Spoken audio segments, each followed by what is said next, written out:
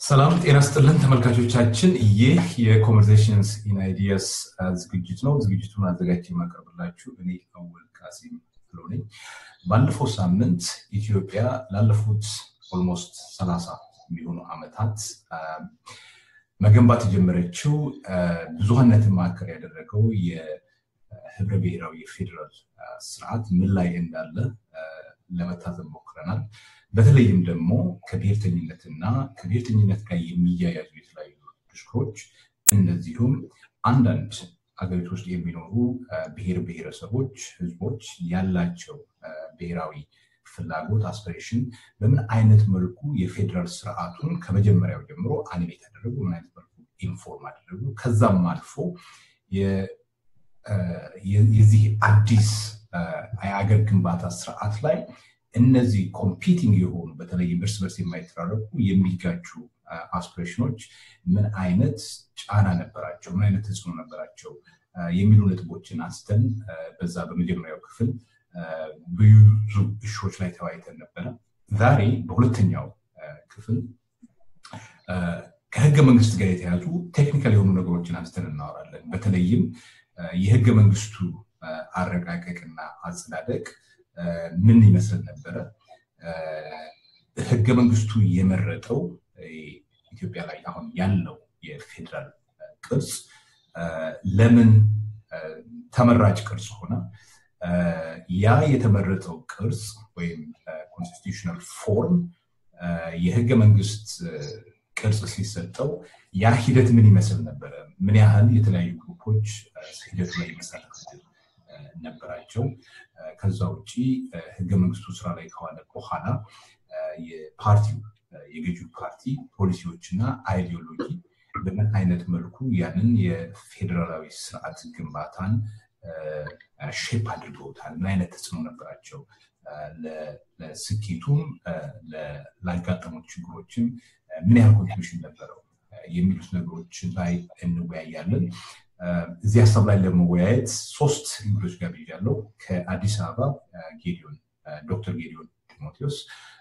ዶክተር ጌዲዮን በአዲስ አበባ ዩኒቨርሲቲ ረዳት ፕሮፌሰር ናቸው። ከሚኒሶታ አቶ ዘካሪያስ ኃይሉ። አቶ ዘካሪያስ ኃይሉ ከዚህ በፊት በአዲስ አበባ ዩኒቨርሲቲ መምህር ነበሩ። በአሁኑ ጊዜ ለሚኒሶታ state መንግስት ይሰራሉ ከአምስተርዳም join ያደረገን አናኒያ ሶሪ ነው። አናኒያ ሶሪ የቀዳሚ ገጽ managing editor ነበረ። እንደዚሁም አክቲቪስት ነው። በኢትዮጵያ political ጉዳዮች ላይ በተለያዩ አጋጣሚዎች ይሳተፋል በቅርብም ይከታተላል። እንግዶቼ ጊዜያችሁን ወስዳችሁ እዚህ ፕሮግራም ላይ join ስላደረጋችሁ እጅግ በጣም አመሰግናለሁ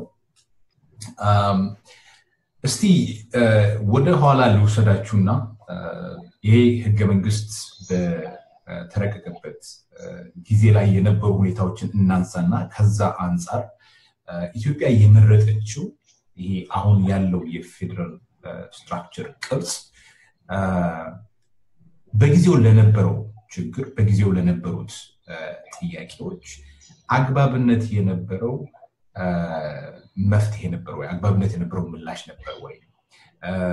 አለም ላይ እንግዲህ የተለያዩ ሀገሮች diversity ን manage ከማድረግ አንጻር ዲሞክራሲን consolidate ከማድረግ አንጻር የተለያዩ የፌዴራል ቅርጾችን ተጠቅመዋል።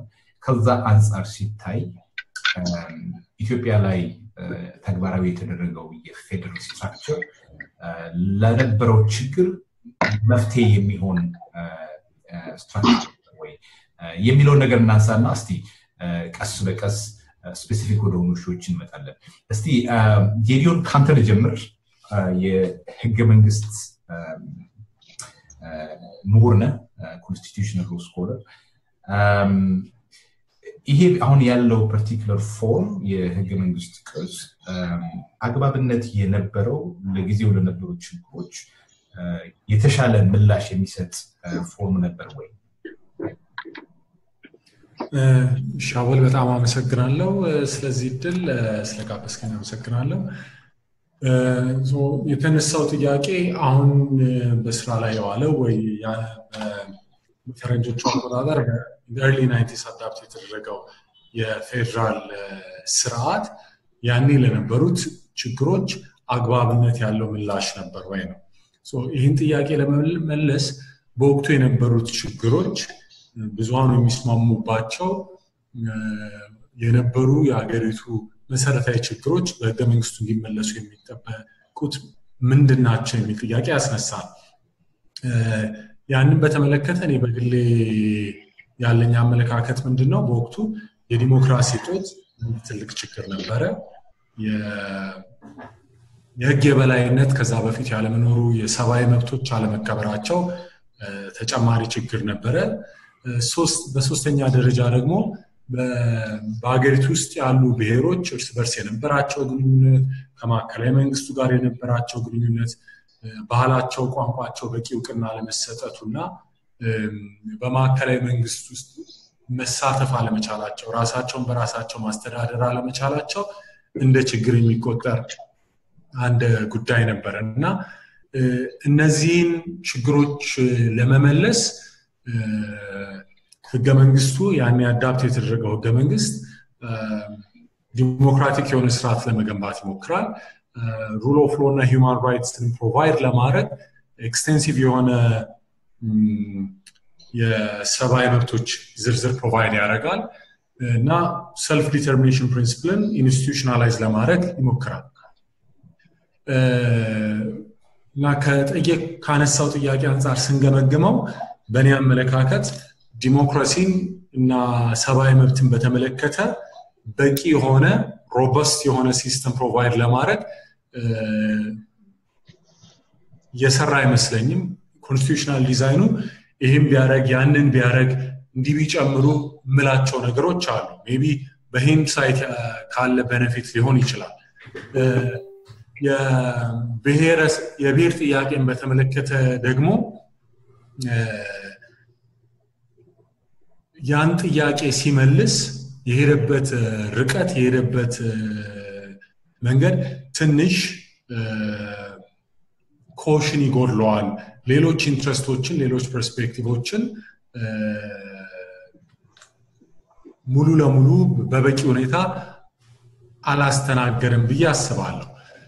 having said that ግን ማንሳት ያለብን ሌላ ተያያዥ ነጥብ የሚመስለኝ በወቅቱ ያ ህገ መንግስታዊ ስርዓት adopt የተደረገው አግባብ የነበረ ቢሆንም ባይሆንም እንዲህ ቢሆን እንዲያ ቢሆን የምንለው ነገር ቢኖር ራሱ ማለት ነው። system ኡ ወይ ስርዓቱ ስራ ላይ ከዋለ ከሀያ ምናምን ዓመታት በኋላ ያን በሀያ ዓመታት ውስጥ የተፈጠረ የሆኑ የተቋቋሙ ተቋማት የተዘረጋ ስርዓት on ground የተፈጠረ reality ስላለ ያኔ አማራጭ የነበሩ መዋቅሮች አሁን አማራጭ ላይሆኑ ይችላሉ እና from an academic point of view ያኔ እንዲህ ቢሆን ኖሮ ብሎ ልንነጋገር እንችላለን። ግን practically ያኔ አማራጭ የነበሩ ነገሮች አሁንም እንደ አማራጭ ሊወሰዱ አይችሉም ብዙ ብዬ አስባለሁ። ፕሪሳይስሊ ለዛም ነው በጊዜ ወደኋላ ሄደን እዛ ሰዓት ላይ አንድ አገር ወደፊት የምትሄድበትን ህገ መንግስታዊ ስርዓት ስትደነግግ የነበሩት ነባራዊ ሁኔታዎች ወሳኝ ናቸው። በጊዜው በነበሩት ችግሮች ላይ ታሪካዊ ሊሆኑ ይችላሉ፣ ፖለቲካዊ ሊሆኑ ይችላሉ፣ የኢኮኖሚ ችግሮች ሊሆኑ ይችላሉ። እነዛ ነባራዊ ሁኔታዎች ላይ ተመርኩዟ ነው አንድ አገር የህገ መንግስት ስርዓትን የምትደነግገው። ያ ስርዓት እንግዲህ ለአስር ለሀያ ዓመት ብሎ አይደለም አንድ ስርዓት የሚደነግገው ለእድሜ ልክ ብሎ ነው። ማንኛውም ስርዓት አዲስ ስርዓት ሲዘረጋ ራሱን እንደ አዲስ ሪኮንስቲቱት ሲያደርግ የጊዜ ገደብ አስቀምጦ አይደለም እስከ ማንኛውም ዘለቄታ እንደሚኖረው አስቦ ነው። ይሄ ማለት አንዳንድ ነገሮች አይቀየሩም ማለት አይደለም። amend የሚደረጉ ነገሮች አሉ። ህገ መንግስትም ያንን በምን አይነት መልኩ አንዳንድ ነገሮች እንደሚሻሻሉ ያስቀምጣል። ግን ዋናው አንድ ሀገር የምትመርጠው constitutional form ነባራዊ በጊዜው ባሉ ሁኔታዎች significantly shape ይሆናል ማለት ነው። ለዛም ነው ወደኋላ ሄደን ማየት የፈለግነው እና እመጣለሁ በኋላ ላይ ይህንን የማነሳበት አንዱ ዋናው ምክንያት ምንድን ነው በዛ ጊዜም ያ ምርጫ ብቸኛው ምርጫ አልነበረም የሚል መከራከሪያ አለ። ከዛ ጋር ተያይዞ ደግሞ ህገ መንግስቱ እነዚህን ፖለቲካዊ ምርጫዎች ወደ ህገ መንግስታዊ norm የቀየረበትን አካሄድ ስታይ መሰረታዊ የሆኑ ችግሮች ነበሩ። እሱንም እናነሳለን። ከዛም አንጻር ነው I think እዛ ጋር ሄደን ያንን መቃኘት ያ ደግሞ አገሪቷ ስታደርገው ለነበረው የፌዴራዊ ስርዓት ግንባታ የነበረው implication እዛ ላይ የነበረው ተጽዕኖ ምንድን ነው የሚለውን ማየት የፈለግነው። እንመጣለን ወደ አንዳንዶቹ ነገሮች in detail እናያለን። እስቲ ወደ አንተ ልምጣ አቶ ዘካሪያስ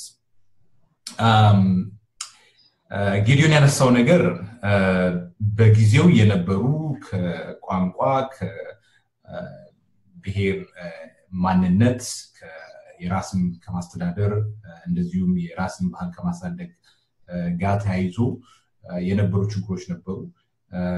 በማዕከላዊ መንግስትና በህዝቡ መካከል የነበሩ ብዙ ችግሮች ነበሩ።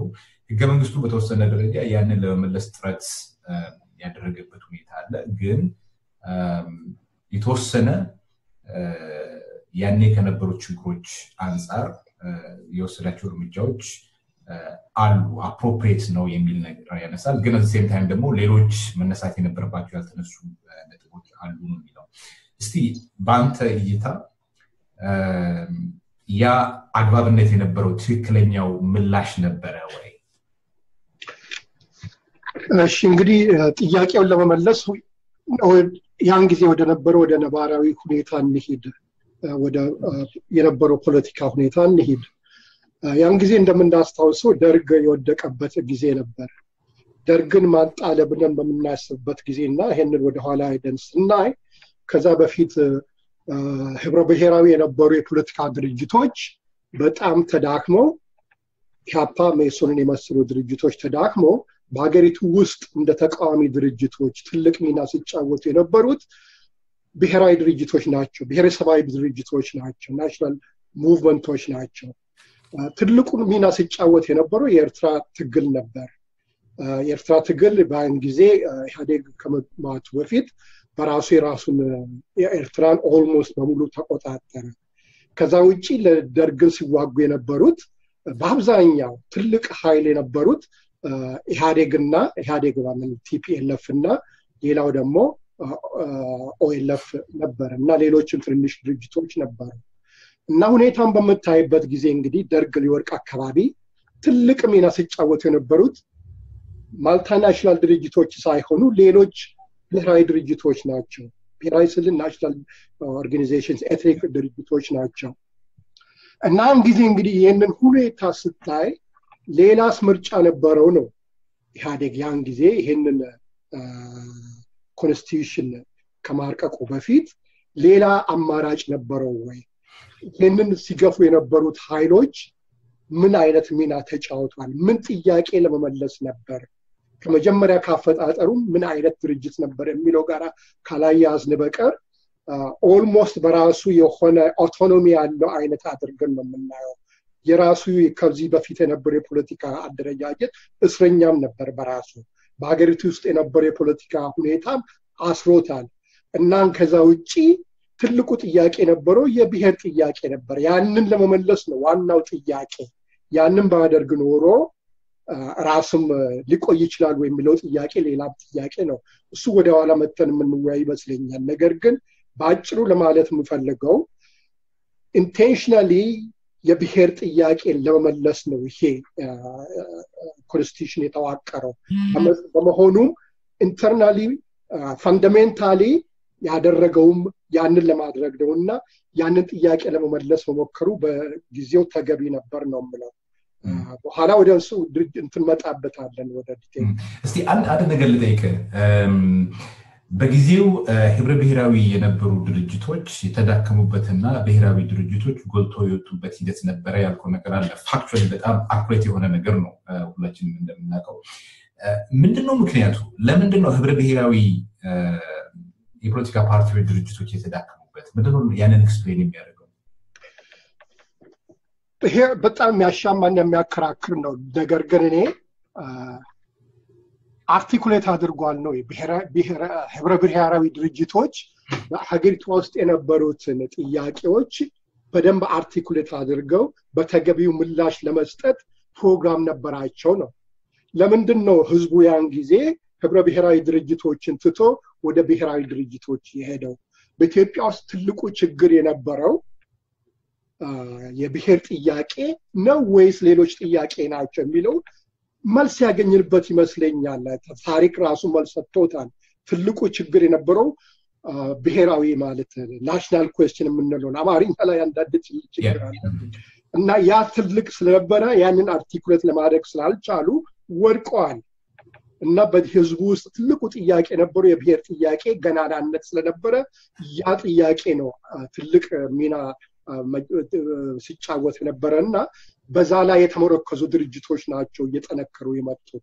እና ይሄ in itself it shows that በሀገሪቱ ውስጥ የነበረው ትልቁ ጥያቄ የብሔር ጥያቄ መሆኑን ያ ሳይመለስ ሌሎች ጥያቄዎች መመለስ እንደማይችሉ እና ያንን ያነሱ ድርጅቶች እያሉ ሌላ ህብረ ብሔራዊ ድርጅቶች መጠናከር እንደማይችሉ ነበር ያሳየው። interesting። እስቲ እንመለሳለን ወደዚህ ነጥቦች። በጣም አመሰግናለሁ ላነሳቸው point ኦች። አናንያ፣ እስቲ ወደ አንተ ልምጣ። እንደሰማኸው የዘካሪያስ position በሀገሪቷ ውስጥ ከነበሩት ብዙ ፖለቲካዊ፣ ማህበራዊ፣ ኢኮኖሚያዊ ጥያቄዎች ዋናው ነጥሮ የወጣው ጥያቄ በዛ ጊዜ የብሔር ብሔረሰቦች ጥያቄ ነበረ። national question nationalities question እየተባለ የሚታወቀው እንደገና በተጨማሪ ያለው አንድ ነገር በጊዜው የነበሩት ህብረ ብሔራዊ ኃይሎች እየተዳከሙ መጥተው ብሔራዊ ኃይሎች የነዛ የብሔር ጥያቄ መመለስ አለበት ብለው በብሔር ደረጃ የተደራጁ ኃይሎች ገነው የወጡበት ሁኔታ ነበረ። የኃይል አሰላለፉንም ስታይ በዛ ጊዜ አብዛኛው ኃይል የነበረው በእነዚህ ድርጅቶች እጅ ነበረ እና ነባራዊ ሁኔታውን ስናይ ለብሔር ጥያቄዎች መልስ የሚሰጥ ትኩረት የሚሰጥ የህገ መንግስት form ወይም ቅርጽ መኖሩ appropriate ነበረ የሚል ነው። በሌላ መልኩ እንደምታውቀው አንዳንድ ግለሰቦች የሚያነሱት መከራከሪያ ነጥብ ይሄ ብሔር ላይ የተመሰረተ የፌዴራል ስርዓት inherently ችግር አለበት የሚል መከራከሪያ ነጥብ ያነሳሉ። ከቋንቋውም ጀምሮ አንዳንዶች የጎሳ ፌዴራሊዝም ይሉታል፣ አንዳንዶች ethnic federalism ይሉታል፣ አንዳንዶች ደግሞ multinational federalism ይሉታል። እነዚህ የምንጠቀማቸው ቋንቋዎች convey የሚያደርጉት message አለ። እስቲ ምንድነው what's your response አሁን ለተነሳው ነጥብም እንደገና የአንተ perspectives ምንድን ነው? አግባብነት የነበረው direction ነበረ ወይ የህገ መንግስቱ? okay እሺ፣ ያው መልካም እንግዲህ ማለት ብዙ ሀሳቦች ናቸው የተነሱት። እያንዳንዱን address ማድረግ ሊከብድ ይችላል። በዋናነት ግን አሁን መጨረሻ ላይ ከተነሳው ተነስተን ወደ ሌሎቹን ብንመጣ ጥሩ ነው ብዬ አስባለሁ።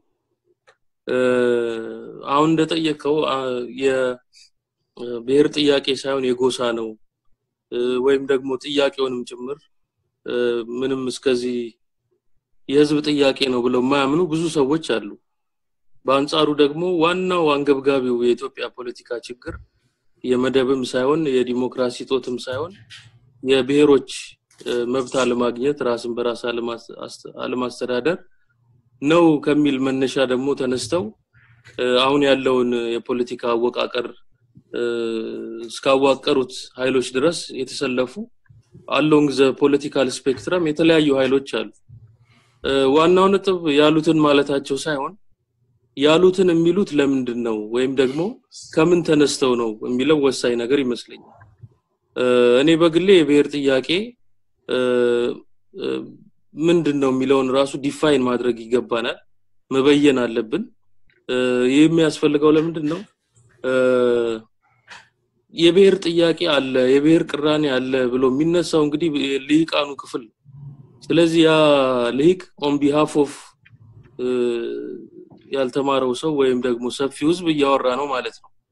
እንደዛ ከሆነ ደግሞ ዘንዳ በትክክል ሁላችንም ገብቶን እያልነው ያለነው እየተግባባንበት ያለነው concept ነው ወይንስ አንዳችን የብሔር ጥያቄ ስንል አንድ የምንፈልገውን ነገር እያልን ሌሎቻችን ደግሞ ሌላ ነገር እያልን ነው ወይ የሚለውን ወይም on the same page መሆናችንን ማረጋገጥ መቻል አለብን ማለት ነው። እኔ የምረዳው እንግዲህ የብሔር ጥያቄ ያው በተማሪዎች ንቅናቄ ጊዜ የፊውዳላዊቷን ወይም ደግሞ በባላባት አይነት አስተዳደር የምትተዳደረዋን ኢትዮጵያ በማየት ያንንም የፖለቲካ ኢኮኖሚ በመተንተን በግራ ዘመም ፖለቲካ informed ሆነው craft ያደረጉት ወይም articulate ያደረጉት ጉዳይ ነው የተማሪዎች ንቅናቄ። በዚህ ረገድ እንግዲህ ዋለልኝ ነው ተጠቃሹ። ዋለልኝ ይህንን ነገር በጉልህ አንስቶ በተወሰነች ወረቀት ላይ ያን ነገር አስፍሯል እና በዛ ላይ እንግዲህ መጀመሪያ መግቢያው ላይ በትክክል ይጠቅሳል። ማንም ሰው የተወሰነ ፍሬዝ ስናች አድርጎ ወይም ደግሞ ከአውድ ውስጥ አውጥቶ በሚፈልገው አግባብ እንዳይጠቀመው ያስጠነቅቃል። unfortunately ግን ያ ነው exactly የሆነው። ስለዚህ እኔ የማየው ምንድን ነው አሁን ላይ የያዘው ቅርጽና የብሔርን ጥያቄ እነዚህ የብሔር ፖለቲከኞች ወይም ድርጅቶች ነን የሚሉ ኃይሎች የፈቱበት መንገድ የተንሸዋረረና ለራሳቸው ጥቅም በሚመች መልክ ነው። ለዛም ነው አሁን ችግር እያየንበት ያለ ነው። ዋለልኝ እንዳነሳው ወይም ደግሞ አብዛኛው የግራ ዘመም ኃይሎች የነበሩት በተለይ እንደ ኢህአፓ መኢሶን ያሉት ያነሱ የነበረው ዋነኛው ቅራኔ የህብረተሰብ የመደብ ጉዳይ ነው። በኢኮኖሚ ላይ የተመሰረተው ቅራኔ አንገብጋቢው ነው። ከዛ በተረፈ ግን የብሔርም ጭቆናና marginalized መሆን መገለል አለ። እሱም addressed መሆን ያለበት ነው። ነገር ግን secondary እና ዋነኛ ቅራኔ እንዳልሆነ በራሱ የትም ሊደርስ እንደማይችል በግልጽ የተረዱት ይመስለኛል። ለዛም ነው እንግዲህ በመደብ ቅራኔ ውስጥ ሲፈታ የብሔር ጥያቄም አብሮ እንደሚፈታ አቋም የነበራቸው ማለት ነው። ስለዚህ ምንድነው ከመጀመሪያውም የብሔርን ጥያቄ ሲያነሱ እነዚህ ኃይሎች ጭቁን ብሔሮች መብት ማግኘት እንዳለባቸው፣ በቋንቋቸው መማር እንደሚገባቸው፣ ባህላቸውን ማሳደግ እንደሚገባቸው፣ በማዕከላዊ መንግስት አስተዳደር ውስጥም ተሳትፎ ማድረግ እንደሚገባቸው በመርህ ያምኑና በተግባርም ያ እንዲሆን ይሰራሉ። ነገር ግን በዛ ላይ ብቻ ተወስነው ወይም ታጥረው የተቀመጡ reactionary forces አልነበሩም፣ አሁን እንደምናያቸው እንደነ TPLF። ስለዚህ እኔ የማየው ምንድነው የብሔር ጥያቄ ማለት ለኔ ጭቁን የነበሩ ወይም ደግሞ በተለያየ ስልታዊና ስውር መንገዶች ከስልጣንም ከኢኮኖሚ ተጠቃሚነትም ተገልለው የነበሩ የተለያየ ቋንቋ ተናጋሪዎች even ሃይማኖትም ሊሆን ይችላል ወደ ማዕከላዊ መንግስት ተሳትፎ መምጣታቸው በጎ ነገር ነው። ምንም የሚጠላ ነገር የለውም። ነገር ግን በዛው ብቻ ታጥሮና ያንን እንደ ግብ ወስዶ መንቀሳቀስ ደግሞ በጣም reactionary እና አድሃሪያዊ የሆነ ወዴትም የማይነቃነቅ static አካሄድ ነው እና TPLF ም ደግሞ አሁን እንግዲህ እንደምናየው የብሔር ብሔረሰቦችን መብት አውቄላቸዋለሁ ይላል። ነገር ግን በተግባር ያ አይደለም እየታየ ያለው። እውነተኛ self rule የላቸውም። ስለዚህ በብሔር ጥያቄን ህወሀትም ቢሆን divide and rule tactic አድርጎ በህዝቦች መካከል አለመተማመንን እየፈጠረ ስልጣኑን ለማራዘሚያነት ነው እንጂ የሚያውለው ከእውነተኛ የብሔሮች መብት ስላልተነሳበት የብሔር ጥያቄ ተመልሷልም ማለት ይቸግራል። በአንጻሩ ደግሞ የለም ማለት ይቸግራል ማለት ነው። አሁን ወዳለው ነባራዊ ሁኔታ እንመለሳለን። almost ስርዓቱ በጀመረበት ጊዜ ጀምሮ ልናነሳቸው የምንችለው ብዙ በተግባርና at least normatively እንደ ህግ promise ከተደረገው ነገር ጋር የሚጋጩ ግልጽ የሆኑ ነገሮች አሉ። ወደዛ እንመጣለን። አንድ ነገር ማንሳት እፈልጋለሁ። አሁን ካነሳቸው ነጥቦች ጋር እያይዤ አናንያ አሁን የምናየው ወደ ህገ መንግስቱ የገባውም ይሄ ከብሔር ብሔረሰቦች ጋር ተያይዞ ያለው ጥያቄ ልሂቃኑ ክፍል ያነሳው ነው እንጂ necessarily የአብዛኛውን ህዝብ ፍላጎት እና ህልም into account ያስገባ አይደለም፣ ያንን represent የሚያደርግ አይደለም የሚል ነጥብ ያነሳ ይመስለኛል። ምናልባት አንተ ይህን ነጥብ ያነሳህበትን spirit ሙሉ በሙሉ capture ካላደረግሁ ታስተካክለኛለህ። ያን ነጥብ ያነሳ ይመስለኛል። መጠየቅ የፈለግኩት ማናችንም ቢሆን እነዚህ ጥያቄዎች እውነትም የኢትዮጵያን ህዝብ ብሔር ብሔረሰቦች ፍላጎት ያንጸባርቃሉ ወይስ አያንጸባርቁም የሚል definite የሆነ ያንን measure የምናደርግበት ምንም እንትን የለንም። ኢትዮጵያ ውስጥ እንግዲህ እንደምታውቁት ዲሞክራቲክ የሆነ ምርጫ አይደረግም፣ opinion poll ም የለም። ልጠይቅ የፈለግኩት ጥያቄ ከዚህ ጋር ተያይዞ ይህንን አመለካከት የሚቃረነውስ አመለካከት let's say ለምሳሌ ኢትዮጵያ ውስጥ ያለው ዋናው ችግር የመደብ ችግር ነው፣ የዲሞክራሲ ችግር ነው፣ የህግ በላይነት ችግር ነው የሚለውስ አመለካከት elite ኡ አይደለም ወይ ይህንን ቢሆን articulate የሚያደርገው? ይሄ አሁን አንተ ብቻ ስላልከው ሳይሆን በሰፊው ይሄ ጥያቄ ስለሚነሳ ነው ኢትዮጵያ ህዝብ ፍላጎት አይደለም የሚል ነገር ስላለ ነው። የ elite ይህንን ጉዳይ articulate ማድረግ ጥያቄው ያለውን significance ሊያሳንሰው ይችላል ወይ? ምክንያቱም ሌላውን ከዚህ ቀረናል የሚባለው አመለካከት end of the day articulate የሚያደርገው elite ኡ ነው ስለዚህ ከዛ አንጻር የሆነ ክብደት ልንሰጠው የምንችለው እንትን አይደለም እንደ መከራከያ እያስባለሁ ስ እሺ መልካም። እንግዲህ ምንድነው አሁን በጣም ጽንሰ ሀሳባዊ ካደረግነው ልክ እንዳልከው ያም question ሊሆን ይችላል። ነገር ግን በተግባር የሰው ልጅ ፍላጎት ምኞት basic ጥያቄ ምንድን ነው የሚለውን ካየነው እንግዲህ በእኛ ሀገር ደረጃ ሰማኒያ percent የሚሆነው ገበሬ እንደሆነ ይታወቃል በግልጽ። የዛ አርሶ አደር ወይም ደግሞ የዛ ገበሬ ህልም ራእይና ተስፋ ምንድን ነው የሚለውን ለማወቅ ያው ሁሉንም ሰው ማናገር ሊጠይቅ ይችላል scientifically እንስራው ከተባለ። ነገር ግን እንደ elite ወይም ደግሞ ስለ ህብረተሰብ ጥያቄ እናውቃለን እንቆረቆራለን። ህብረተሰቡ ምን እንደሚፈልግ የምናውቃቸው ነገሮች አሉ ብለን ደግሞ ስንነሳ ከምናስተውለው ነው እንግዲህ የምንነሳው። ከ common sense ነው ከ observation ከ daily practice ነው የምንነሳው። ስለዚህ በዚህ ረገድ እኔ እንግዲህ እንደማየው የትኛውም ብሔር አባል ይሁን የትኛውም ቋንቋ ተናጋሪ ይሁን የትኛውም እምነት ተከታይ ይሁን ሰው መብላት መጠጣት ጥሩ ቤት ውስጥ መኖር መልበስ ይፈልጋል። እነዚህ ኑ ነው እንግዲህ በሰብአዊ መብትነትም ደረጃ ታውቀው ያው ወደ መብትነት የተሸጋገሩት።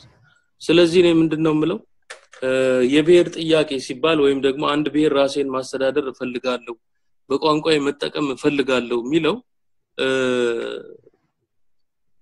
ሰከንደሪ ነው ለኔ ምክንያቱም መጀመሪያ ህልውናውን ማረጋገጥ ይገባዋል። በትክክል በልቶ ማደር ይኖርበታል። ስለዚህ ለኔ በጣም የህልውናው ጥያቄ አድርጌ የምወስደው የኢኮኖሚያዊው ጉዳይ ስለሆነ በዛ ረገድ ደግሞ ማንኛውም ሰው የተባለ ፍጡር ሁሉ አንድ አይነት ስለሆነ need ኡ ያ ይቀድማል። existence ስለሚቀድም በዛ አንጻር ነው ማለት ነው። ወደዛ ያደለ ወይም አተያይ። እስቲ እመለሳለሁ ወደ አንተ። በተለይም ይህ ዋናው primary የሆነው የሰው ልጅ ፍላጎት more ቁሳዊ ወደሆኑ material ወደሆኑ ነገሮች ያደላል የሚል ነጥብ አንስታል እዚህ ላይ እመለሳለሁ ወደ አንተ። ጌዲዮን ወደ አንተ ልምጣ። አናንያ ያነሳቸውን ነጥቦች ሰምተሃል።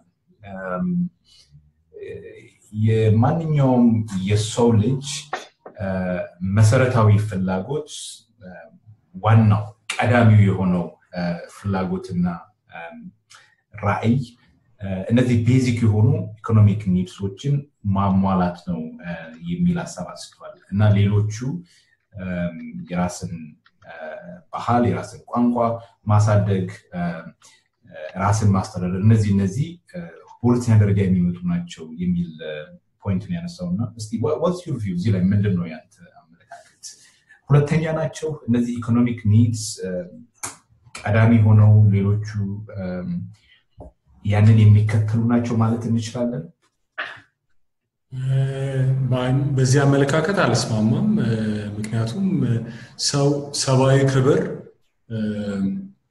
ኖሮት የመኖር ፍላጎቱ እንደ ሰው ተቆጥሮ የመኖር ፍላጎቱ ከቁሳዊ ፍላጎቶቹ እኩል ትርጉም ያለውና ቦታ ሊሰጠው የሚገባ ይመስለኛል ጥሩ ቢበላም ጥሩ ቢጠጣም የተመቸ መኖሪያ ቦታ ቢያገኝ ከሰብአዊ ክብሩ ወርዶ የሚኖር ከሆነ ህይወት ብዙም ጣዕም አይኖራትም። እና ሰው አካላዊ ማንነት ብቻ ያለው ሳይሆን መንፈሳዊ ሰብና ያለው ባህል ሃይማኖት ሊሆኑ ይችላል። እነዚህ እነዚህ ነገሮች ሁሉ የማንነቱ አካል የሆኑ እና በጣም ትርጉም ያለው ህይወት ለመኖር እጅግ አስፈላጊ ስለሆኑ አይ ቅድሚያ ብላ ጠጣ ከዛ በኋላ ሌላ ሁሉ ያን ያህል ወሳኝ አይደለም የሚለው አመለካከት ከብሔር መብት ጋር የተገናኙ ከቡድን መብት ጋር የተያዙ ጥያቄዎች ላይ ብቻ ሳይሆን ከዲሞክራሲ ከግለሰብ መብትም ጋር ትስስር ያለው ነው እና አንዱን ቀዳሚ አንዱን ሁለተኛ አድርጎ ማየቱ አደገኛ አመለካከት ይመስለኛል እና ምንም ድሃም የሆነ ሰው ትምህርትም ዘመናዊ ትምህርትም ያላገኘ ሰው ቢሆን ሰብአዊ ክብሩ ዋጋ ይሰጣል እና እንደዚህ ያለ ይሄ ይቀድማል ይሄ ሁለተኛ ነው የሚለው አመለካከት ለእኔ በግሌ አያሳምነኝም። አቶ ዘካሪስ ወደ አንተ ልምጣ። እስቲ ይሄንን ተመልሼ ለአናኒያ ማንሳት አንድ ነጥብ important የሆነ point ነው። I think እነዚህ distinction ኦች ብዙ ጊዜ economic imperatives ይሄ የኢኮኖሚ እድገት ሰዎች በልቶ ማደር መቻላቸው መልበስ መቻላቸው መጠለያ ማግኘት መቻል መታከም መቻል ትምህርት ቤት ልጅን መላክ መቻል እነዚህ ከሌሎች ይሄ ዲሞክራሲ ከምንለው ራስን ማስተዳደር ምናምን ከምንለው እሴቶች ቀዳሚ ናቸው የሚል አመለካከት አለ። conceptually ከኢትዮጵያ context ውጭ ማለት ነው ወደ ኢትዮጵያ ስንመጣ ግን ይሄ ለየት ያሉ ተጨማሪ dimension ኦችን ይዞ ይመጣል። ይሄ collective right የምንለው የብሔር ብሔረሰቦች ራስን የማስተዳደር በራስ ቋንቋ የመናገር እነዚህ ወደዚህ ክርክር ይመጣሉ እና ሶስተኛ dimension ነው የሚሆነው። በአንተ አመለካከት እነዚህ አንዱ ቀዳሚ ነው ሌላው ተከታይ ነው የምንለው ነገር ነው ወይንስ አንድ ላይ ሊሆኑ የሚችሉ ምንም ኢንተርናሊ የማይጋጩ አንድ ላይ አብሮ ሊከበሩ የሚችሉ መብቶች እሴቶች ናቸው። እኔ እንደዛ ቀዳሚ አንደኛው ይቀድማል። በዛ አይነት ደረጃ የሚቀመጡ ነገሮች አይደሉም። አንደኛ ቅድም አናንያ ያነሳውን ነገሮች እንደ descriptive elite ኦች ናቸው ብሔር ጥያቄ የጀመሩት የሚለው so what ይሄ በኢትዮጵያ ብቻ ሳይሆን በሌሎችም ሀገሮች nationalism ጥያቄ ሲነሳ በመጀመሪያ elite ኦች ናቸው የሚያነሱት። elite ኦች ስላነሱ መጥፎ ነው። ስለዚህ የተሳሳትን የሚለው ድምዳሜ አለ አይመስለኝም። በህብረተሰቡ ውስጥ ባላቸው ሁኔታ በትምህርትም ሌሎች ሀገሮችን ልምዶች ከማየት እና ከትምህርት ጋር በተያያዘ መንገድ በየትኛውም ሀገር nationalism ን ቀደም ብሎ የሚያነሱት elite ኦች ናቸው elite ኦች ስላነሱ ግን ትክክል አይደለም የሚለው ድምዳሜ ትክክል አይመስለኝም። ከዛ በተጨማሪ ደግሞ as if there's some kind of conflict በብሔር ጥያቄ እና በሌሎች የዲሞክራሲ ጥያቄዎች መካከል ቅራኔ እንዳለ አይነት አድርጎ ማስቀመጥ ተገቢም አይመስለኝም። አንደኛ በደረጃ የሚቀመጡ ነገሮች አይደሉም። ሁለት ነገሮቹ የተለያየ ሌቭል ላይ ያሉ ነገሮች ናቸው። አንደኛውን ስላነሳ ሌላኛውን ትተዋል የሚል ነገር የለም ከዛ ጋር ለማያያዘ መወድ የምፈልገው ይሄ የዱሮ የግራ ዘመም ፖለቲካ አስተሳሰብ ነው። ይሄ የብሔር ጥያቄ ተነስቷል፣ በፊት ነበር፣ ሞቷል የሚለው ነገር ገና እነ ማርክስ eighteenth century nineteenth century አካባቢ almost nationalism የሞተ ጥያቄ ነው፣ ከአሁን በኋላ የመደብ ጥያቄ ብቻ ነው ተገቢ የሚሆነው እና ህዝቦችን ወደፊት የሚያራምድ የመደብ ጥያቄ ነው ብቻ ተብሎ it's been almost ስንት ዓመት ከዛ በኋላ የ nationalism ጥንካሬ almost በታሪክ እስካየነው ድረስ ሞቷል ከተባለ በኋላ እድገቱ ማንም ካስበው በላይ እየጨመረ እስካሁን ባለንበት ደረጃ ላይ almost አንዳንድ ጸሐፊዎች post nationalism የሚል ነገር ሁሉ ደርሷል። nationalism የሚባል በኋላ ከአሁን በኋላ የለም። በየደረጃ ብዙ ጊዜ ነው የተባለው ይሄ። በተለይም የሶቪየት ህብረት ከሞተች ከፈረሰች በኋላ እና neoliberalism ትልቅ ሚና ካገኘም በኋላ ካም በኋላ nationalism የለም ከተባለ በኋላ ስንት ሀገር ውስጥ ነው nationalism ጥንካሬ እየታየው globalism አሸንፏል ከተባለ በኋላ በአውሮፓ፣ በአፍሪካ፣ በኤዥያ የብሔራዊ ጥያቄዎች አሁንም ብዙ ሀገሮች ውስጥ ትልቅ ሚና እየተጫወቱ ነው እና ይሄንን nationalism ን underestimate ማድረግ እና ከሌሎች የዲሞክራሲ ጥያቄዎች አግሎ ማየት ተገቢ አይመስለኝም። አንደኛ ብሔር ጥያቄ ሲባል በ itself ከዲሞክራሲያዊ ጥያቄዎች አካልም ነው። በጣም አመሰግናለሁ። እስቲ አናንያ ሁለት ነገሮችን ላንሳ። በመጀመሪያ ደረጃ አንድ at least በፅንሰ ሀሳብ ደረጃ ብዙ literature ላይ የምናየው ነገር እነዚህ ከቁሳዊ interest ኦች ጋር የሚያያዙ ይሄ economic rights የምንላቸው ለምሳሌ በልቶ ማደር መቻል እነዚህ ነገሮች primacy ያላቸው ይቀድማሉ የሚል ሀሳብ አለ። ይቀድማሉ ሲባል ግን ከ group መብት ይቀድማሉ ብቻ ሳይሆን ይሄ liberal democracy ውስጥ እውቅና ካላቸው ይሄ ከ dignity ከዲሞክራሲ የህግ የበላይነት ከነዚህ እሴቶችም ይቀድማሉ ከነዚህ መብቶችም ይቀድማሉ የሚል አመለካከት ነው ያለው። now ጥያቄ ምንድን ነው እነዚህ ከ material interest ጋር ያሉት ነገሮች ይቀድማሉ ስትል ከዲሞክራሲ ይቀድማሉ ማለት ነው? እንግዲህ ዲሞክራሲ ራሱ ምን ማለት ነው ወደሚለው ደግሞ ያመጣናል። ማለት ዲሞክራሲ loaded term ነው ወይስ እንደው ሁሉን የሚያስማማ ነው የሚለው ራሱ በጣም አከራካሪ ነው። ዲሞክራሲ ማለት የምርጫ ለዚህ discussion ዲሞክራሲ ማለት አብዛኛው ህዝብ ነፃ ሆኖ መንግስትን መቀየር የሚችልበት ስርዓት ብለን እንውሰደው። ከዛ ውጭ ያሉ complication ኦችን ምናምን እንተውና እስቲ ነፃ የሆነ ህዝቦች ስርዓትን መንግስትን ሊቀይሩበት የሚችሉበት structure መኖር ብለን እንውሰደው እንግዲህ እንደዛ ብለን መውሰድ እንችል ይሆናል። ነገር ግን በተግባር እንደዛ ነው ወይ ነው ጥያቄው። በተለይ አሁን በምናየው መልክ ዲሞክራሲ hijacked የሆነ የጥቂት ከበርቴዎች መሳሪያ ሆኖ ጥቂቶችን በስልጣን ላይ የሚያቆይ አብዛኛውን ህዝብ ደግሞ በተለያዩ የረቀቁ ስልቶች እያደናገሩ ዲሞክራሲ በሚመስል ነገር ግን በትክክል ዲሞክራሲ ባልሆነ መንገድ የሚተዳደሩበት እየሆነ ነው ያየ ነው ማለት የመደብ ውግንና የሌለው ዲሞክራሲ የለም እና የትም አለም ላይ ማለት ዲሞክራሲ ሲባል እንግዲህ ያው ከምዕራቡ አለም ነው በብዛት ዲሞክራሲን የምንዋሰው ወይም ምን መሆኑን ራሱ የምንረዳው። ነገር ግን እነሱስ አለም ላይ በዛ መልክ ነው ወይ የሚሰራበት? ብዙ የመደብ ውግንና የለውም ወይ የሚለውን ጠጋ ብሎ ማየት ያስፈልጋል በዚህ ጉዳይ ላይ። በነገራችን ላይ ቅድም ባነሳሁት ላይ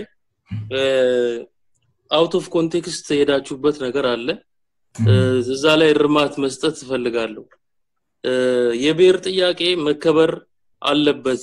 ነገር ግን ቀዳሚ አይደለም። ቀዳሚው የሰዎች የሰው ልጆች ጥያቄ በተግባር በህይወት የመኖር የመቆየት ኢኮኖሚያዊ need የማሟላት ነው።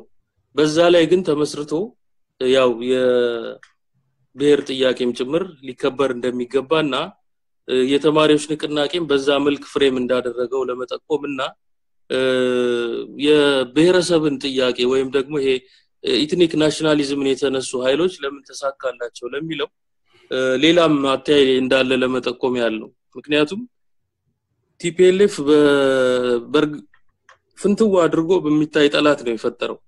ምንም የጽንሰ ሀሳብ ውስብስብነት የሌለው ለተማረውም ላልተማረውም በግልጽ ሊገባ የሚችል ጸረ አማራ ቅስቀሳና ideology ነው ይዞ የተነሳው። በዚህ በቀላሉ ያልተማረውን የህብረተሰብ ክፍል mobilize ማድረግ ይቻላል እና በዛ መልክ መጥቷል። ስለዚህ የእሱን ስኬት የያዘው ጽንሰ ሀሳብ የተሻለነት ብቻ አድርጎ መውሰድ ስለሚከብድ ነው። ከነጥቡ የራቅን ግን እንዳንሄድ ከዚሁ ጋር ሊያያዙ የሚችሉ እና ቅድም በተነሱት ላይ አንዳንድ ሀሳቦች ብል ደስ ይለኛል። ምክንያቱም የህገ መንግስቱ አረቃቀቅ እንዴት ነበረ? ምንን አስዩም አድርጎ ነው ወደሚለው ብንመጣ? ወደ እሱ መጣለሁኝ። እሱ ላይም የተለያዩ ነገሮች ስላሉ ነው። ምክንያቱም የገዢው እንግዲህ ፓርቲ ያገለላቸውም ቡድኖች ነበሩ። በዋናነት እንደውም ህብረ ብሔራዊ ርዮት አለምን ይዘው የተነሱ በኢትዮጵያ ደረጃ ሊንቀሳቀሱ የሚፈልጉትን በፊት መደብ ላይ ቆመው የነበሩትን የፖለቲካ ፓርቲዎች ሆን ብሎ በማግለል ነው የጀመረው። ስለዚህ ይሄ የ divide and rule tactic ኡ extension መሆኑን መረዳት ይገባናል። ከዛ አንጻር ካላየነው አሁንም ቢሆን ትክክለኛውን ግንዛቤ ማግኘት ስለማንችል ነው። ምክንያቱም የብሔረሰብ የአንድ ብሔረሰብ ጥያቄና የሌላ ብሔረሰብ ጥያቄ በመሰረቱ ሊቃረን አይችልም ተጻራሪ ሊሆን አይችልም። ነገር ግን እንደዛ አይነት ሆኖ ነው እየቀረበ ያለው እና ያም ደግሞ ከምን ላይ የተወሰደ ተሞክሮ ነው የሚለውን ቆም ብሎ ማጤን ያስፈልጋል እስቲ እንመለሳለን። እነሱን ኢሹዎች እናነሳለን። እስቲ ጌዲዮን አንድ የመጨረሻ ጥያቄ ልጠይቅ ከዚህ ጋር በተያያዘ። ብዙ ጊዜ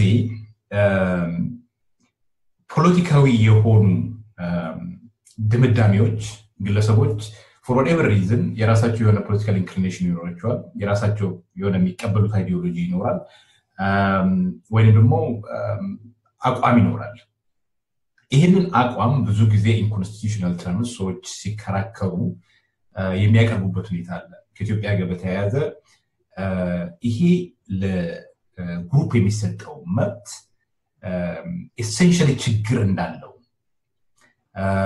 የ group መብት ማክበር ማለት የግለሰቦችን መብት የሚጻረር ነገር እንደሆነ የሚቀርብበት ሁኔታ አለ። አሁን ከአነኒያ ጋር ስናወራ እንዳነሳነው ደግሞ የብሔር ብሔረሰቦች መብትን በዚህ ደረጃ እውቅና የሚሰጥ ህገ መንግስት ሌሎች ሊበራል የሆኑ መብቶችን ማክበር አይችልም የሚል አመለካከት አለ። በሰፊው circulate የሚሆን almost አንዳንድ ጊዜ እኔ ሳይ instinctive ነው ይሄ ነገር። አንዳንድ ይሄ የብሔር መብት እውቅና ማግኘቱን የማይፈልጉ ሰዎች የ group መብት ሲባል automatically ችግር እንዳለው ነው የሚያዩት። ወይም ደግሞ automatically የግለሰብ መብቶችን በተወሰነ ደረጃ suppress የሚያደርግ በቂ እውቅና የማይሰጥ ነው የሚያዩት። እና እንደ constitutional law scholar የኢትዮጵያን ህገ መንግስት ስታይ equally እነዚህ ነገሮች protect ያደርጋል። ግለሰቦች መብቶችን protect ያደርጋል የ group መብቶችን protect ያደርጋል። እነዚህ ሀሳቦች ተቃራኒ ሀሳቦች ናቸው አንድ ህገ መንግስት practically የሚሰራ ዲሞክራሲያዊ የሆኑ ተቋማቶች ቢኖሩ እና እነዚህ ነገሮች ተግባራዊ ቢደረጉ እነዚህ ነገሮች እነዚህ እሴቶች አንድ ላይ ታቅፈው ሊሄዱ የሚችሉ አይደሉም? ይቀረናሉ? አይደሉም። ማለት አብረው ተጣጥመው እየተተረጎሙ ተግባራዊ ሊደረጉ የሚችሉ መብቶች ናቸው። ምክንያቱም በሊበራል አስተሳሰብ ራሱ እውቅና የሚሰጣቸው የግለሰብ መብቶች in specific cases በመካከላቸው ቅራኔ ሊኖር ይችላል። ግን እነዛን ቅራኔዎች በአተረጓጎም ተግባራዊ በሚደረግበት ጊዜ ለማስታረቅና ሚዛናዊነቱን በጠበቀ ሁኔታ ተግባራዊ ለማድረግ የሚያስችል ስርዓት እስከዘረጋ ድረስ አብረህ ልታስኬዳቸው የምትችል ናቸው። በተመሳሳይ መልኩ በቡድን መብቶችና የግለሰብ መብት ብለን በምንቆጥራቸው መብቶች መካከል አንዳንዴ ውጥረት ቢኖር አንዳንዴ ቅራኔ ቢኖር ራሱ inherently እና በመርህ ደረጃ በባህሪያቸው ፍጹም ተቃራኒ የሆኑ አብረው ተግባራዊ ሊደረጉ ሊከበሩ የማይችሉ መብቶች አይደሉም። የትኛውም ህገ መንግስታዊ ስርዓት የጥራቱ መለኪያ የሚሆነው የስርዓቱ ጥንካሬ፣ ብርታትና ጥሩነት የሚለካበት በመብቶች መካከል የሚፈጠረውን ውጥረት የሚፈታበት ስርዓት ሂደት አለው ወይ የሚለው ነው። እና እኛ ጋር ስንመጣ ችግሩ የሚመስለኝ ይህንን የምንፈታበት ጠንካራ የሆነ ስርዓት እነዚህን competing የሆኑ interest ኦችን አንዳንዴ clash የሚያደርጉ መብቶችን አጣጥመን የምንተረጉምበት ጠንካራ ስርዓት ተግባራዊ ማድረግ አለመቻላችን እንጂ መብቶቹ በባህሪያቸው የሚቃረኑ ሆኖ አይደለም እና በእኛ discourse ውስጥ በጣም እንደሚቃረኑ ተደርጎ የሚገለጸው ነገር ትንሽ የተጋነነ ይመስለኛል። በጣም አመሰግናለሁ ለዛ clarification። እስቲ አሁን ሁላችሁም በተወሰነ ደረጃ ልታነሱት የሞከራችሁት intervene አድርጌ ነው ይህንን አታንሱ ሳግዳችሁ የነበረው ነጥብ አለ። ያም እነዚህ የፖለቲካ ምርጫዎች right ኢትዮጵያ ያላት የህገ መንግስት form የፖለቲካ ምርጫ ነው። ማን መረጠው ስለሚለው ማውራት እንችላለን። at any rate ግን ultimately ያው ህገ መንግስት theoretically at least አብዛኛው ህዝብ ፍላጎት ይጸድቃል። ከጸደቀ የህብረተሰቡን ፍላጎት ያንጸባርቃል ማለት ነው። ያ የፖለቲካ ምርጫም የህብረተሰቡ ምርጫ እንደሆነ ይወሰዳል። የህብረተሰቡ ምርጫ ለመሆን ግን አካሄዱ፣ process ኡ ተቀባይነት ያለው ዲሞክራሲያዊ የሆነ ሂደት መሆን መቻል አለበት። ከዚህ ጋር በተያያዘ ከኢትዮጵያ ህገ መንግስት ጋር ላይ የሚነሱ especially ከማሳተፍ አንጻር ህገ መንግስቱ የተረቀቀበት አካሄድ አብዛኞቹን የተለያዩ ፍላጎት ያላቸውን የፖለቲካ group ኦች፣ stakeholder ኦች ህዝቡን ያሳተፈ ነበር ወይ የሚለው ጥያቄ ላይ really ክርክርም አይደለም። broad የሆነ በተለይም academic እንትን ውስጥ literature consensus አለ process ኡ ዲሞክራሲያዊ እንዳልነበረ የሚገልጽ ማለት ነው። እስቲ ጌዲዮን ካንተ ጀምራለሁኝ፣ ምክንያቱም እዚህ ላይ የጻፍከው article እንዳለ አውቃለሁ። እስቲ process ኡ ምን ይመስል ነበረ? ምን ይመስል ነበር ሳይሆን ዲሞክራሲያዊ ነበረ ወይ? ምን ይመስል ነበር የሚለው I think probably ጊዜ ሊወስድብህ ይችላል። ዲሞክራሲያዊ ነበረ ወይ? ካልሆነ ምንድን ናቸው ዲሞክራሲያዊ አይደሉም የምንልበት ምክንያት ነው ካልክም ምክንያቱ ምንድን ነው? ዲሞክራሲያዊ አልነበረም ባይነኝ እኔ ሂደቱ ዲሞክራሲያዊ አልነበረም የምልበት ምክንያት ደግሞ በዋነኝነት ህገ መንግስቱን በማርቀቅ ህገ መንግስቱን አዳፕት በማድረግ ሂደት ውስጥ ማለት ነው በሀገሪቱ ውስጥ ያሉት የተለያዩ አይነት የፖለቲካ አመለካከቶች የተለያዩ ቡድኖች በተደራጀ ሁኔታ በነፃነት ተሰባስበው ሀሳባቸውን ገልጸው አንዱ ሌላውን ለማሳመን ሞክረው ተከራክረው ተደራድረው አዳፕት ያደረጉት ወይ ይሄ ነው ህገ መንግስቱ መሆን ያለበት ብሎ የተስማሙበት ሂደት አልነበረም ያለው። ደርግን የጣለውና በወታደራዊ ጦርነቱ ግጭቱ አሸናፊ የሆነው ወገን driver seat ኡን ይዞ የተቃረነ ሀሳብ ያላቸውን የተለየ አይነት ህገ መንግስታዊ ራዕይ ያላቸው እና የኢትዮጵያ ህገ መንግስት እንዲህ ነው መምሰል ያለበት ሀገሪቱ በዚህ መልኩ ነው መዋቀር ያለባት የሚሉትን ወገኖች አግልሎ በበቂ ሁኔታ የመሳተፍ ሀሳባቸውን የመግለጽ የመወዳደር መብት ሳይሰጣቸው አንድ አይነት አስተሳሰብ ያላቸው ቡድኖች ብቻ በተሰባሰቡበት ሁኔታ ነው ህገ መንግስቱ አዳፕት ያተደረገው። ይህንን በሚባል ጊዜ ከኢህአዴግ በኩል የሚነሱ ሁለት ክርክሮች አሉ። አንደኛው አይ ለምሳሌ የህገ መንግስቱን ያረቀቀውን ኮሚሽን ብታዩ የተለያዩ አይነት አስተሳሰቦችን የሚወክል ነው። ኢህአዴግ ብቻ ሳይሆን ሌሎችም አይነት የፖለቲካ ቡድኖች የተሳተፉበት ነው የሚል ነጥብ ይነሳል። ይሄ እውነት ነው። ህገ መንግስቱን ያረቀቀውን ኮሚሽን technical ስራውን የሰራውን ቡድን በምናይበት ጊዜ በተለምዶ ኢትዮጵያ nationalist የሚለው ካምፕ ከዛ ጋር associated ሆኑ ያንን ሊወክሉ ይችላሉ የሚባል የሊብራል አስተሳሰብ ያላቸው የግለሰብ መብት ቅድሚያ ሊሰጠው ይገባል የሚሉ አይነት አመለካከት ያላቸው ሰዎች ራሱ በደንብ የተሳተፉበት ነበረ። ነገር ግን አርቃቂ ኮሚሽኑ ካረቀቀና ይህ አማራጭ አለ ይህ አማራጭ አለ ብሎ ሀሳቡን ካቀረበ በኋላ ያለውን ሂደት ስናይ በወቅቱ በነበረው የሽግግር መንግስት የነበረው የተወካዮች ምክር ቤትም ሆነ ህገ መንግስታዊ ጉባኤ ሙሉ ለሙሉ overwhelming በሆነ ሁኔታ በአንድ ፓርቲ ብቻ dominated የሆነ ነበር። ያ ደግሞ ህዝቡ መርጦና ፈቅዶ የሆነ ሳይሆን በወቅቱ በነበረው ዲሞክራሲያዊ ባልሆነ environment የመጣ ነው። ሁለተኛ ከኢህአዴግ በኩል የሚነሳው መከራከሪያ ምንድን ነው? የህዝብ ህዝቡን ለማማከር በየቀበሌው በየቦታው ለቀናት የተካሄዱ የምክክር መድረክ public consultation forums ነበሩ የሚለው ነው። እነዚህ ፎረሞች ግን በተደራጀ ሁኔታ informed ሆኖ ሰው engage እንዲያደረግ የሚፈቅዱ ሳይሆን የተለመደው የቀበሌ ስብሰባ እንደሚመስል እናውቃለን። የቀበሌ ሊቀመንበር የሆነ ወይ ባለስልጣን የሆነው መጥቶ ይናገራል። monologue ነው። ህዝቡ ደግሞ ሰምቶ የሚሄድበት ነው እና በተለይ ኢትዮጵያ nationalist ተብሎ normal የሚጠራው ካምፕ በተደራጀ ሁኔታ effectively participate ማድረግ የማይችልበት environment ነበረ። ከዚህ አንጻር አሳታፊና ዲሞክራሲያዊ የነበረ ሂደት አልነበረም። እዚህ ላይ አንድ መጨመር የምፈልገው ለዚህ ፕሮግራም research ሳደርግ ያገኘሁት አንድ fact ምንድን ነው? በቀበሌ አካባቢ በከተማ ነዋሪዎችም በገጠር አካባቢ የሚኖሩ በተለያዩ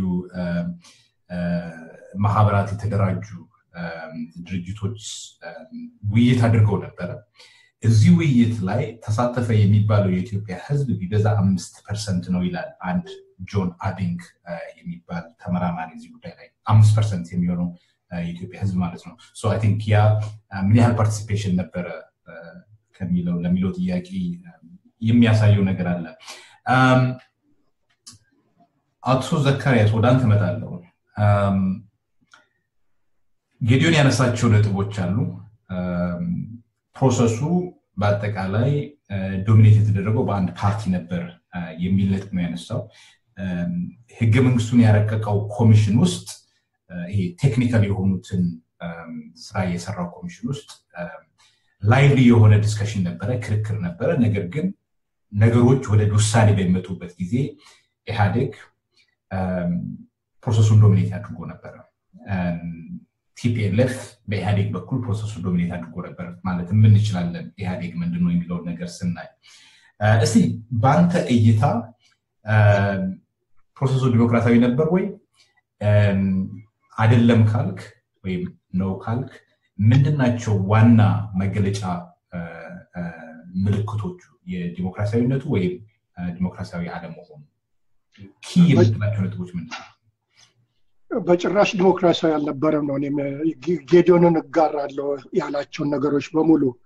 በተጨማሪ ግን ትልቁ ነገር whole political environment የነበረበትን ሁኔታ ማየት አለብን።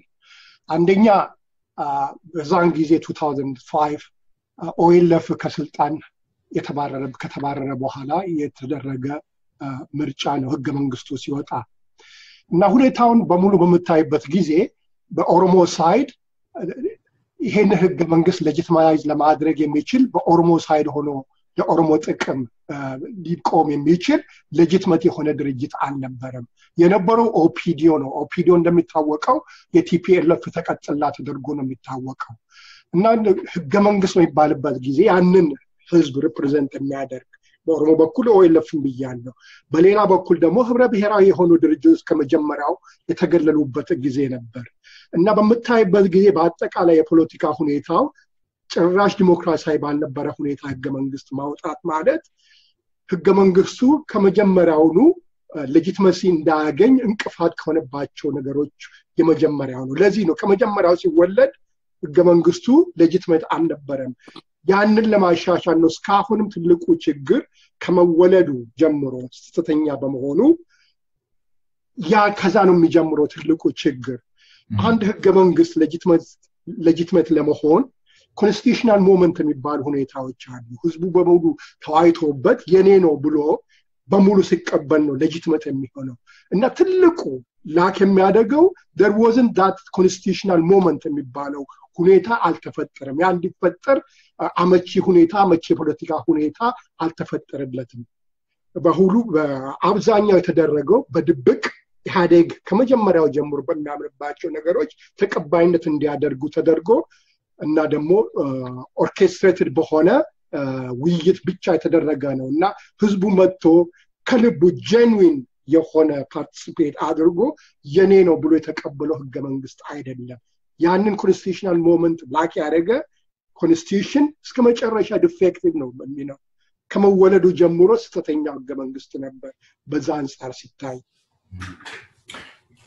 interesting ይሄ constitutional moment ያልከው I think clearly ጌዲዮንም ቋንቋን ባይጠቀመውም suggest ያደረገው ነገር ነው. ይሄ ሀሳብ አሜሪካዊ የ constitutional law theorist ብሩስ አክርማን የሚባል ሰው popularize ያደረገው ሀሳብ ነው. in essence ምን ማለት ነው አንድ አገር ወይም አንድ ህዝብ ህገ መንግስትን በሚጽፍበት ጊዜ ለወደፊቱ ለፊውቸሩ አዲስ መንገድ ቻርት እያደረገ ነው። አዲስ አቅጣጫ እየቀየሰ ነው። ስለዚህ የአቅጣጫ ለውጥ አለ ማለት ነው። ይሄ የአቅጣጫ ለውጥ ደግሞ በጊዜ የተገደበ ስላልሆነ ቅድም እንዳልኩት ስር ሰደድ የሆነ ህዝባዊ ውይይት ይሄ በተለያየ መልኩ የተገደበ ምንም አይነት ግልፀኝነት የሚዲያ ነፃነት ባሌለበት ሁኔታ የሚደረግ ሳይሆን ክፍት በሆነ ሁኔታ ሁሉም ሰዎች ደስ ብሏቸው የሚሳተፉበት jovial የሆነ moment መሆን እንዳለበት እና የሰዎች ተስፋ ምንም ያህል ህገ መንግስቱ ውስጥ enshrine ማድረግ እንኳን ባይችል ሁሉም ሰው ይሄ የኔም future በተወሰነ ደረጃ capture ያደርጋል encapsulate ያደርጋል ብሎ የሚያምንበት enthusiastic የሆነ moment እንደሆነ ነው አክርማን ይህንን እንትን የሚገልጸው። እና certainly እንደዛ አይነት inclusive የሆነ ሁሉንም የሚያጠቃልል ሁሉንም ያነጋገረ ከፍተኛ ውይይት የተደረገበት moment አልነበረም። እንዳልኩት አምስት percent የሚሆነው የኢትዮጵያ ህዝብ ነው በተለያዩ ቦታዎች የተደረገው ውይይት ላይ የተሳተፈው። አናንያ ወደ አንተ ልምጣ። አሁን አንድ interesting የሆነ አቶ ዘካሪያስ ያነሱት ነጥብ አለ። ህብረ ብሔራዊ የሆኑ ፓርቲዎች ድምፃቸው አልተወከለም። በተለይ independent የሆኑ ጠንካራ የሆኑት ፓርቲዎች ኮሚሽኑ ውስጥ እነዛ አመለካከቶች ነበሩ። ከኮሚሽኑ ውጭ ግን መሰረታዊ presence ያላቸው ጠንካራ ፓርቲዎች ያልተወከሉበት ሁኔታ አለ። ብሔርተኛ ፓርቲ የሚባሉ again independent የሆኑ ፓርቲዎች እነ የኦሮሞ ነፃነት ግንባር እነዚህ ፓርቲዎች አልተወከሉም። እነዚህ ፓርቲዎች ከስራ ውጭ ለማድረግ ደግሞ ከዛ ቀድሞ የተሰራ ስራ ነበረ ኢህአዴግን መፍጠሩም አንዱ ትልቁ ኮንሲደሬሽን ይሄ ይመስለኛል እስቲ ከዚህ ጋር በተያያዘ መካው ሙቱዋ የሚባል ታዋቂ የአፍሪካ ስኮላር የጻፈውን ላምበት በእንግሊዝኛ ነው የጻፈው In the mid 1980s, Hilal, the TPLF realized its inability to govern Ethiopia alone once Mengistu Haile was overthrown. It therefore orchestrated the establishment of satellite organizations to broaden its national appeal beyond Tigray. To neutralize Amhara opposition, it helped set up the Ethiopian People's Democratic Movement. Because that ANDM, Amhara National Democratic Movement, you know, in an attempt to undercut the independent OLF and gain support among the Oromo, who make up half of the country's population, the TPLF also helped form the Oromo People's Democratic Organization. So essentially, um, well, yeah, uh, the group um, ህዝቦችን የሚወክለው ፓርቲም አለ። እነዚህ ፓርቲዎች ግን independent አልነበሩም። አይደለም በዛ ዘመን ከሀያ ሀያ አምስት ዓመት በኋላም በቂ የሆነ independence እንዳሌላቸው ነው የምናየው እና essentially process ኡ engineer የተደረገው በአንድ minority የሆነ ፓርቲ ነው ማለት እንችላለን። ይሄ ምንድን ነው የሚለው አሁን ስላለው ስርዓት ምንድን ነው የሚያሳየን? አንዳንድ ቅድም ካነሳቸው ነጥቦች ጋር I think ልታገኝ ትችላለን። መልካም እንግዲህ more እያየን ያለነው ጉዳዩን በዚህ ርዕስ ላይ ከህገ መንግስት ከህገ መንግስታዊነት አንጻር ስለሆነ ነው ይመስለኛል። ወደ ህግ ጉዳዮች ትንሽ አዘን ብላችኋል እንደ ህግ ባለሙያነታችሁም። ግን ነገሩን ስናየው ያው የፖለቲካ ስረ መሰረት ያለው ነው። የፖለቲካ ስረ መሰረት ስላለውም ደግሞ ወደ ፖለቲካው ገብተንም ልንተነትነው የሚገባ ነው። ከህገ መንግስቱ አረቃቀቅ አይደለም የጀመረው ችግሩ ከቲፒኤልኤፍ ጽንሰት እና እድገት የጀመረ ነው። ህዝባዊ ወያኔ ሀርነት ትግራይ ማለት እንግዲህ የትግራይ ህዝብ ነፃ አውጪ ግንባር ሆኖ አላማውን የትግራይ ነፃ ሪፐብሊክ መመስረት አድርጎ ይህንን አጀንዳ ይዞ ሲንቀሳቀስ የነበረ ቡድን ነው። ስለዚህ ይህን አላማ የያዘ አንድ ቡድን እንዴት ነው ለሌላው ዲሞክራሲያዊ እና አሳታፊ የሆነ ነገር ሰጥቶ እሱ ሞትኩለት፣ ተዋደግኩለት፣ ተሰዋውለት ለሚለው ነገር እኩል ተካፋይ አድርጎ የሚያስቀምጠው? ይሄ በፖለቲካ የማይሆን ነገር ነው፣ ናይቭነት ነው። በሚሊተሪ በወታደር በጉልበት በጠመንጃ የመጣ ኃይል ሊደራደር የእውነተኛ ሰጥቶ መቀበል መርህን ይዞ እኩል ሆኖ እኩያ ሆኖ ራሱን እኩል አድርጎ ከሌሎች የፖለቲካ ኃይሎች ጋር በትክክል ለኢትዮጵያ ብቻ በማሰብ አንዳች መልካም ነገር ያደርጋል ብሎ መጠበቅ የዋህነት ነው። ስለዚህ እኔ የማየው ምንድን ነው ከመጀመሪያውም ጀምሮ ከኢትዮጵያ ሕዝብ የተደበቀ አጀንዳ ያለው ድርጅት ነው TPLF። ያን አጀንዳውን ደግሞ በኢትዮጵያ ሕዝብ ላይ ለመጫን የተለያዩ surrogate organizations ን ጠፍጥፎ ፈጥሯል። አንዱ ኦህዴድ ነው፣ ሌላኛው ደግሞ ብአዴን ነው፣ ሌላኛው ደህዴን እያለ አጋር ፓርቲዎችም ጭምራሉ። ስለዚህ ከመጀመሪያውም አነሳሱ የአንድን ብሔረሰብ ልዕልና፣ ጥቅም፣ ተጠቃሚነት ወይም ደግሞ የበላይነት ሴኪውር ማድረግ ያንን ማረጋገጥ አላማ አድርጎ የተነሳ ቡድን ለኢትዮጵያ ዲሞክራሲያዊ ሰብአዊ መብቶች እንድንጎናጸፍ ያደርጋል ብሎ ማሰብ አይቻልም። ምክንያቱም የፕሪዘምፕሽኑ ራሱ ይህንን ስርዓት ሲያዋቅረው በብሔር ከፋፍሎ በልዩነታችን ላይ አክርረን እንድንቆም እና በተጻራሪነት በጠላትነት እስከተሰለፍን ድረስ በጣም አናሳ ቡድን ሆኖ ከአገሪቱ ላይ በስልጣን ላይ ለመቆየት የሚያስችለው ያ መንገድ ስለሆነ ያንን የተከተለው። ስለዚህ ከፖለቲካዊ ግቡና አላማው የሚመነጭ ነው እንጂ ለዲሞክራሲያዊ እሴቶች ካለው ቀናይነት አይደለም። ፌዴራሊዝሙም ቢሆን ኢትስኖት የእኛን ታሪካዊ ሁኔታና የታሪክ ጀርባችንን የተንተራሰ አካሄድ አይደለም። ፕሬዚዩም የሚያደርገው እንደ አዲስ የምንተዋወቅ እንደ አዲስ ፌዴሬሽን የምንመሰርት ከኋላ ምንም የተዛባም ሆነ የበጎም የመጥፎም ታሪክ የሌለን አድርጎ ነው የሚነሳው። ከዜሮ ነው የሚነሳው ሁሉ ንዱ። ነገር ግን ሌላም አይነት ደግሞ የፌዴራሊዝም ቅርጽ አለ። holding together የሚባል በታሪካችን የተዛቡ ግንኙነቶች ነበሩን፣ የተገፉ ብሔሮች ነበሩ። እነሱን እውቅና ሰተን መብት ሰተን ነገር ግን በአንድ ሀገር በዜግነት መብት በግለሰብ መብት ላይ ወደፊት መራመድም የምንችልበት ሌላም ሞዴል አለ። ስለዚህ የዚህ በህገ መንግስታዊነት የፌዴራሊዝም ጉዳይ በዋናነት የቅርጽ ጉዳይ ነው እንጂ የይዘት ጉዳይ አይመስለኝም። ምክንያቱም አህዳዊም ሆነው ብዙ መብት የሚሰጡ አገራት አሉ። ዞሮ ዞሮ ምንድነው ለማጠቃለል ያህል ልዩነት ተኮር የብሔር ፖለቲካን እያራገበ በልዩነታችን ላይ focus እንድናደርግ ሁሌም ሁሌም ልዩነታችን እየተሰበከልን ሁሌም ልዩነታችንን እያስተዋልን እንድንሄድ በዜግነት እንዳንገናኝ እየተደረገ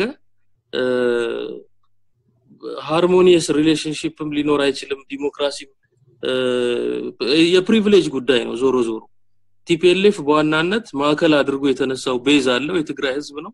ለዛ ህዝብ የበላይነት ወይም ተጠቃሚነት ወይም ልዕልና ነው በዋናነት የሚሰራው ምክንያቱም እንግዲህ ተሰዋን የሚባለውም ከዛው አካባቢ ነው ያንን ሁሉ ነገር ደግሞ ከፍለን ማግኘት ያለብንን privilege ማግኘት አለብን ብለው ስለሚያስቡ በዛ ነው። modus operandi ው ያ ነው።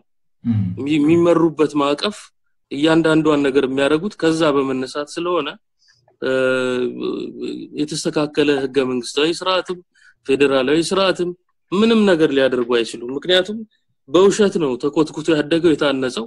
ያው በህግም አግባብ ስናየው መርዛማ ዛፍ መልካም ፍሬን ያፈራል ተብሎ አይጠበቅም። it is logical consequence ማለት ነው በጣም determinist የሆነ ትንታኔ ነው።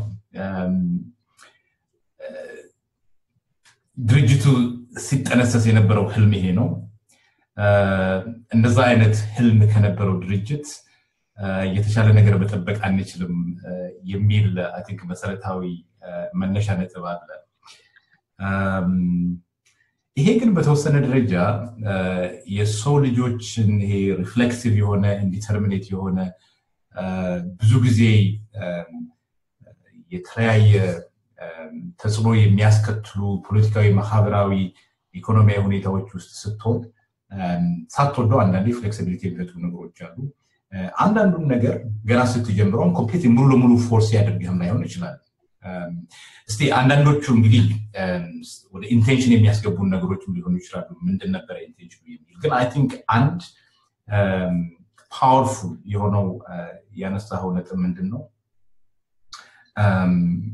ምንም ያህል ይሄ ስርዓት በጊዜው ለነበሩት genuine የሆኑ ፖለቲካዊ ጥያቄዎች appropriate የሆነ መልስ ነው ብለው የሚቀበሉ ብዙ ሰዎች ህዝቦች ቢኖሩም ይሄ ስርዓት ግን ለ TPLF divide and rule policy ምቹ ነበረ። OLF ውስጥ ያሉ መሰረታዊ ሚና የተጫወቱ በተለይም በ transition ኑ ጊዜ የነበሩ ሰዎች የሚሉት ምንድን ነው ይሄ ጽንሰ ሀሳብ ቅርጹ provide የተደረገው የመጣው ከኦነግ ነው የሚል ሀሳብ ያነሳሉ። ብዙ ሰዎች በዚህ ላይ ይስማማሉ but TPLF ደግሞ ይሄንን ስርዓት ingenious በሆነ መልኩ ራሱም ያለበት ቦታ ለመጠበቅ ይህንን ያለውን arrangement of power በማንኛውም በሁሉም ሴክተር ማለት ነው ይህንን ለመጠበቅ ተጠቅሞታል ይህንን ነገር። አንድ የኢትዮጵያ የመጀመሪያው የህግ ትምህርት ቤት መስራች ዲን ጀምስ ፖል የሚባሉ ጸሐፊ ምንድን ነው የሚሉት essentially ህገ መንግስቱ ያስቀመጠው ቅርጽ ይላሉ። በተለይም ተቃዋሚ independent ተቃዋሚ ፓርቲዎችን ሙሉ በሙሉ ከስርዓቱ በማስወገድ ለመቀጠል በ process ኡ የተደረገው ውሳኔ የሚያመለክተው የ TPLF ን ingenious divide and rule strategy የሚያመላክት ነው የሚል ሀሳብ ያስቀምጣሉ። እስቲ አቶ ዘካሪያስ ወደ አንተ ልምጣ እዚህ ጋር እና በአንድ መልኩ በጊዜው ለነበረው ችግር አግባብነት ያለው መልስ ነው። በተለይም ደግሞ በኦሮሞ ህብረተሰብ አካባቢ ፌዴራሊዝም ይሄ በአብዛኛው የአንድነት ኃይል የተባለ የሚታወቀው ፌዴራሊዝምን የማይቀበል ከዛ group ጋር በሚያደርጉት አንዳንድ ክርክር ፌዴራሊዝም የኦሮሞ ህዝብ protect ሊያደርገው የሚገባ structure እንደሆነ ያለው ፌዴራሊዝም ደግሞ ይህንን interest የሚያስከብር እንደሆነ ይከራከራሉ እንደ መከራከሪያ ይጠቀማሉ። በዚ same time የምናየው ደግሞ ይሄ structure ይሄ ስርዓት ላለው የ TPLF ስርዓት መሰረታዊ የሆነ መሳሪያ ነው። ከፋፍሎ ለመግዛት። የትኛው ነው ትክክል? TPLF ይህንን የተጠቀመው በ divide rule policy ስለሚመች ነው ወይንስ እውነትም በዛን ጊዜ ለነበረው ችግር መልስ ስለሆነ ነው? ወይስ combination of both paradox ኡ እሱ አይደለም እንደ ዋናው ትልቁ paradox TPLF አንደኛ እስቲ እንየው TPLF ን በምታይበት ጊዜ ከድሮ ጀምሮ ትግራይ ነፃ አውጪ ድርጅት ነው። ትግራይ ነፃ ሊያወጣ የቆመ ድርጅት ነው። ነገር ግን በኢትዮጵያ ውስጥም የትግራይ ጥያቄ ቢመለስ ፍላጎት የነበረው ድርጅት ነው ወደኋላ። ነገር ግን ይሄ institutional arrangement ኡን ይሄ constitution ኡን በምታይበት ጊዜ ለ TPLF ምን ይጠቅም ነበር? ያን ጊዜ እያንዳንዱ ክፍለ ሀገር የነበረው በ ethnic base ላይ ቢሆን ለ TPLF ምንድን ነው የሚጠቅመው? ትግራይ እንደሆን ትግራይ ነው። በኃይለስላሴ ጊዜ ትግራይ ነበር፣ በኋላ ትግራይ ሆነ እንጂ ለ territory ትግራይ is ትግራይ። እነሱ በክፍለ ሀገር ደረጃ ወይም በብሔር ደረጃ ይሄ ያመጡት institutional arrangement አዲስ ነገር የፈጠረው ነገር የለም ለትግራይ it just continue territorially በምታይበት ጊዜ አዲስ የተፈጠሩ ነገሮች ቢኖር ለመጀመሪያ ጊዜ ኦሮሚያ ነው፣ አማራ ነው፣ ሶማሊያ ነው። ለመጀመሪያ ጊዜ በአዲሱ constitution ውስጥ እንደ አዲስ institutional arrangement የተፈጠሩ እነዚህ ነገሮች ናቸው። ትግራይ ምንም ነገር አልተፈጠረለትም። ይህም በምታይበት ጊዜ ይሄ ትልቅ የነበረው ድርጅት most strongest ድርጅት የነበረው TPLF ለምንድን ነው ብለህ በምታይበት ጊዜ ሌሎቹ ለራሱ የትግራይ አዲስ ነገር ባያመጣም territorially ያው ትግራይ ነው፣ confined ነው። ሌሎችን ብሔር በ ethnic ደረጃ እንዲዋቀሩ ለምንድን ነው የፈለገው የሚለው በምታይበት ጊዜ ወደ intention ኦች ልትሄድ ትችላለህ። ነገር ግን ዋናው ጥያቄ ያንን ወደው አደረጉት ነው። why they do? ለምንድን ነው ያደረጉት?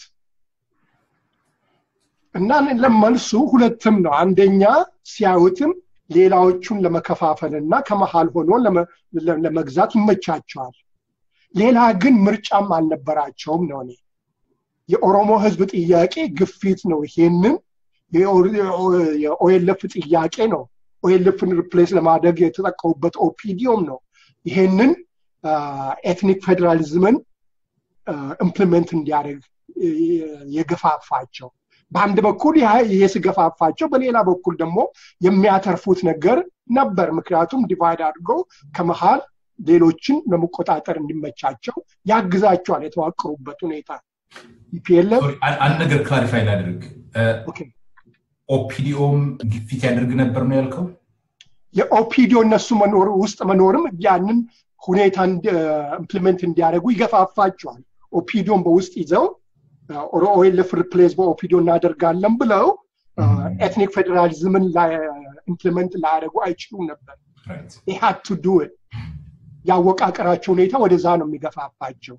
ስለዚህ መልሱ አንድ አይደለም፣ አንድ ወይ ሁለት አይደለም። complex የብዙ ውጤቶች የብዙ ግፊቶች ውጤት ነው ይህንን እንዲያደርጉ የገፋፋቸው ለማለት ፈልጌ ነው።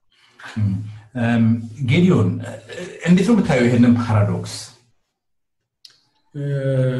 to some extent አሁን የተነሳው የተነሳው ሀሳብ መጀመሪያ ጋር ከተነሳው ሀሳብ ጋር ይያያዛል። ሌላ አማራጭ ነበረ ወይ የሚለው ጋር እና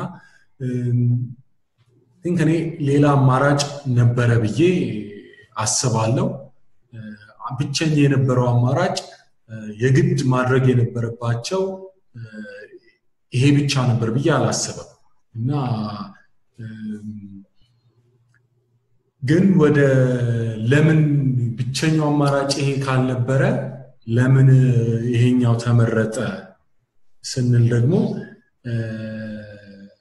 ከፋፍሎ ለመግዛት ነው የሚለው it might be one explanation genuine የሆነ ideological commitment ም ግን rule out ሊደረግ የሚችል አይመስለኝም።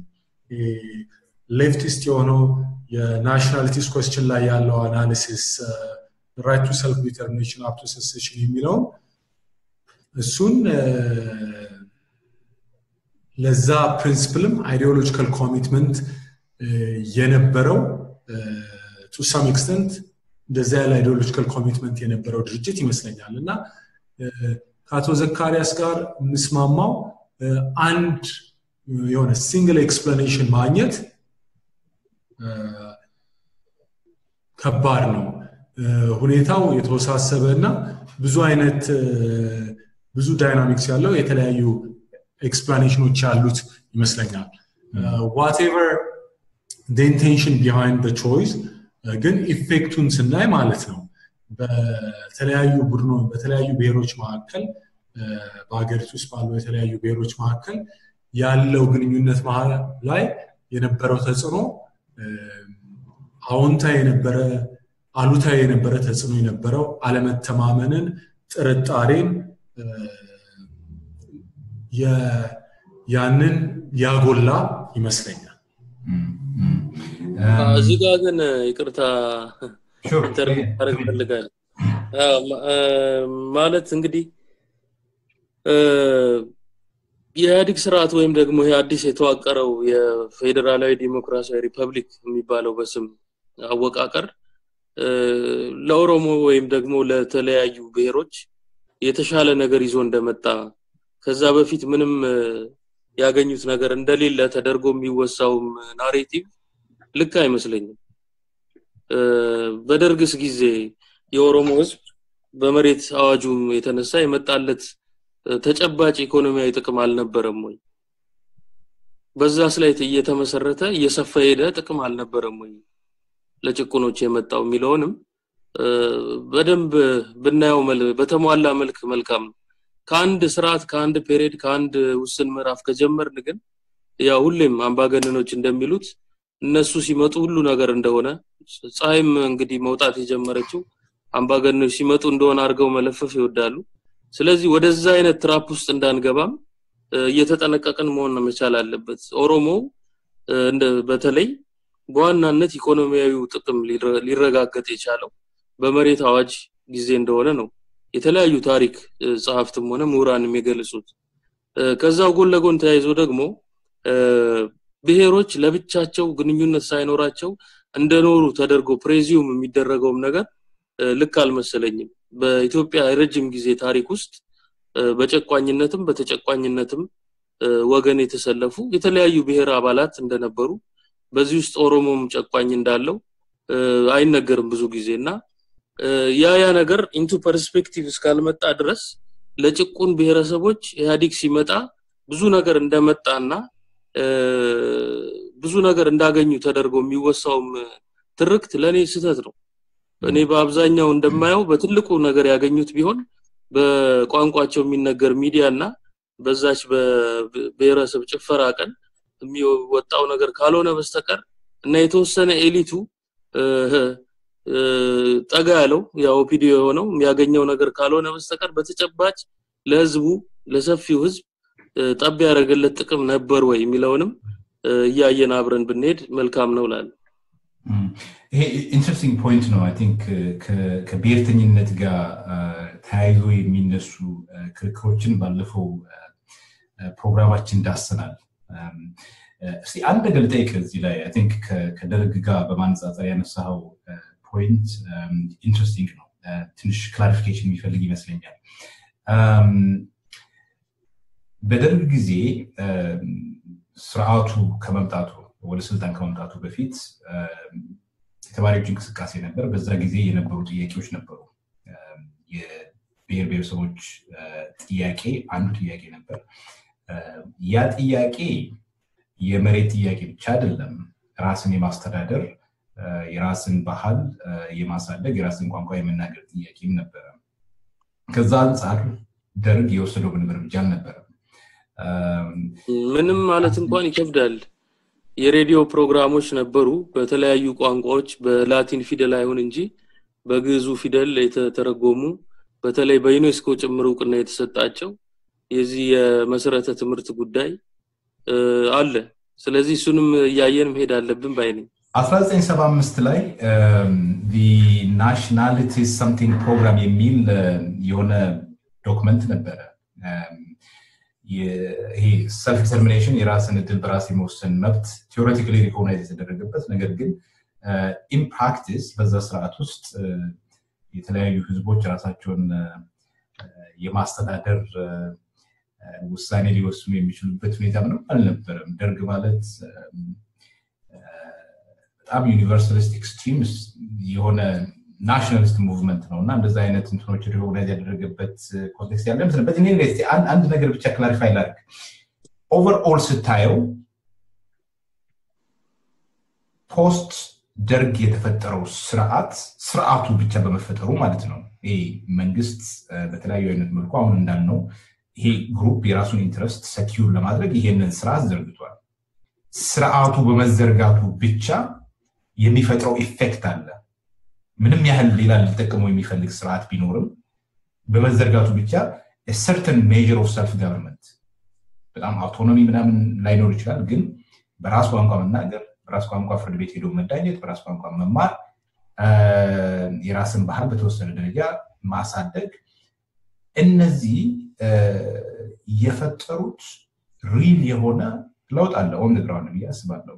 ያንን በደርግ ጊዜ ከነበረው ለውጥ ጋር ስታወዳድር የትኛው ነው ሚዛን የሚደፋው ለአንተ?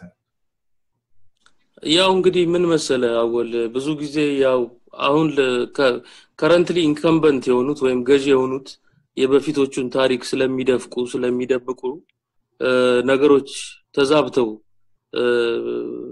ሊታዩን ይችሉ ከሆነ በስተቀረ እንደዛ ካልሆነ በስተቀር የተሰሩ ስራዎች አሉ። ለምሳሌ አሁን በራስ ቋንቋ የመዳኘት ጉዳይ አለ በራስ ቋንቋ መዳኘት ብቻ በራሱ ግብ ነው ወይ? አንድ ሰው ፍርድ ቤት ሲሄድ ፍትህን ነው ማግኘት የሚፈልገው እንጂ በዋናነት በሌላም ቋንቋ ሆኖ እኔ ፍትህን ካገኘው ያን ያክል problem ነው ብዬ አላስብም። ስለዚህ ቁም ነገሩ አለው የቅርጽ ጉዳይ ሳይሆን ይዘቱ ፍሬ ነገሩ አለ ወይ? የትምህርት ጉዳይ ቢነሳ የተለያዩ ዩኒቨርሲቲዎች እየተከፈቱ ነው። የትምህርት ጥራቱ ግን አለ ወይ በእኔ አካባቢ ስም በመሰየሙ ብቻ አይደለም። ነገር ግን substance ኡ አለ ወይ ውስጡ የሚለው ጉዳይ ነው። የራስ የኦሮሚያ ክልላዊ ብሔራዊ ክልላዊ መንግስት ስሙ አለ። በተግባር ግን አለ ወይ? ራስን ማስተዳደር ይቻላል ወይ? ያ የለም። ስለዚህ በሰብስታንቲቭ በሆኑ ነገሮች ስንለካው አሁንም ቢሆን ተጠቃሚዎች አሉ። ከዛ ቋንቋ በፊትም ቢሆን አሉ ተጨቋኞችም አሉ። ስለዚህ በዋናነት አሁንም ቢሆን የዚህ የቋንቋ የባህል ማበልጸግም የሚባለው ሰዎች አሁን በግላቸው የሚሰሩት ነገር ካልሆነ በስተቀረ እንዲህ የተደራጀ የባህል ማዕከል ያለው ህዝብ አለ? በቴሌቪዥኑ ራሳቸው በሚቆጣጠሩት የሚያወሩትና የሚሆኑት ነገር ካልሆነ በስተቀረ ቲያትር ቤቶች ፊልሞች ይሰራሉ በተለያዩ ቋንቋ። በኦሮምኛ ቋንቋ የወጡ ባህሉን አሳደጉ የሚባሉ ነገሮች አሉ። በስንት አመት እና በስንት ትግል ነው እንግዲህ አሁን የባህል ማዕከል የተባለው ራሱ እየተከፈተ የምናየውና ምንድን ነው ያን ያህል ይባላል እንጂ በተጨባጭ progress ነበር ወይ? it is illusion of progress እንጂ በተግባር ለህዝቡ በ practical ህይወቱ ላይ የሚገለጽ የኢኮኖሚም የባህልም የቋንቋም ለውጥ አለ ብዬ እኔ ማሰብ ይከብደኛል። I think ያነሳቸው criticism ኦች ሁሉም legitimate ናቸው ብዬ ወስዳለሁ ግን I think አንዳንድ ጊዜ analysis ኣችን በጣም generalized ይሆንና እነዚህ set up የምናደርጋቸው institution ኖች unintended የሆነውን consequence ኣቸውን ignore እናደርጋለን። ምናልባት አሁን የምናየው አይነት በጣም በተወሰነ ደረጃ critical mass ልትለው የምትችለው የተለያዩ ጥያቄዎችን እያነሳ ያለው generation unintended በሆነ መልኩ እነዚህ institution ኖች እነዚህ structure ኦች የፈጠሩት generation ነው። at least I think probably አብዛኛዎቹ ተስማማላችሁ ብዬ አሁን አንድ ያነሳው ነጥብ አለ። በተወሰነ ደረጃ ይሄ የመከራከሪያ እንትናችንን highlight ያደርጋል። ለምሳሌ አንድ ሰው ፍርድ ቤት ሄዶ በራሱ ቋንቋ መዳኘት ፍትህ ባሌለበት ሀገር ምንም ማለት አይደለም የሚል አመለካከት አለ። ይነሳል ምንም ማለት ሳይሆን ዋናው ጉዳይ ያው ፍትህ የማግኘት ጉዳይ ነው ከፍርድ ቤት የሚጠበቀው። አንድን case ይዞ ሲሄድ አንድ ሰው መቼም ቋንቋውን መስማት ፈልጎ አይሄድም መቼም። ምክንያቱም ፍትህን ማግኘት ነው የሚፈልገው።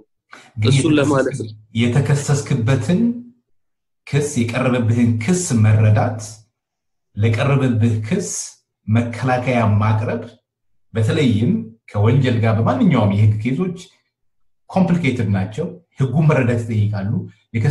የቀረበብህን ክስ መረዳት ይጠይቃሉ።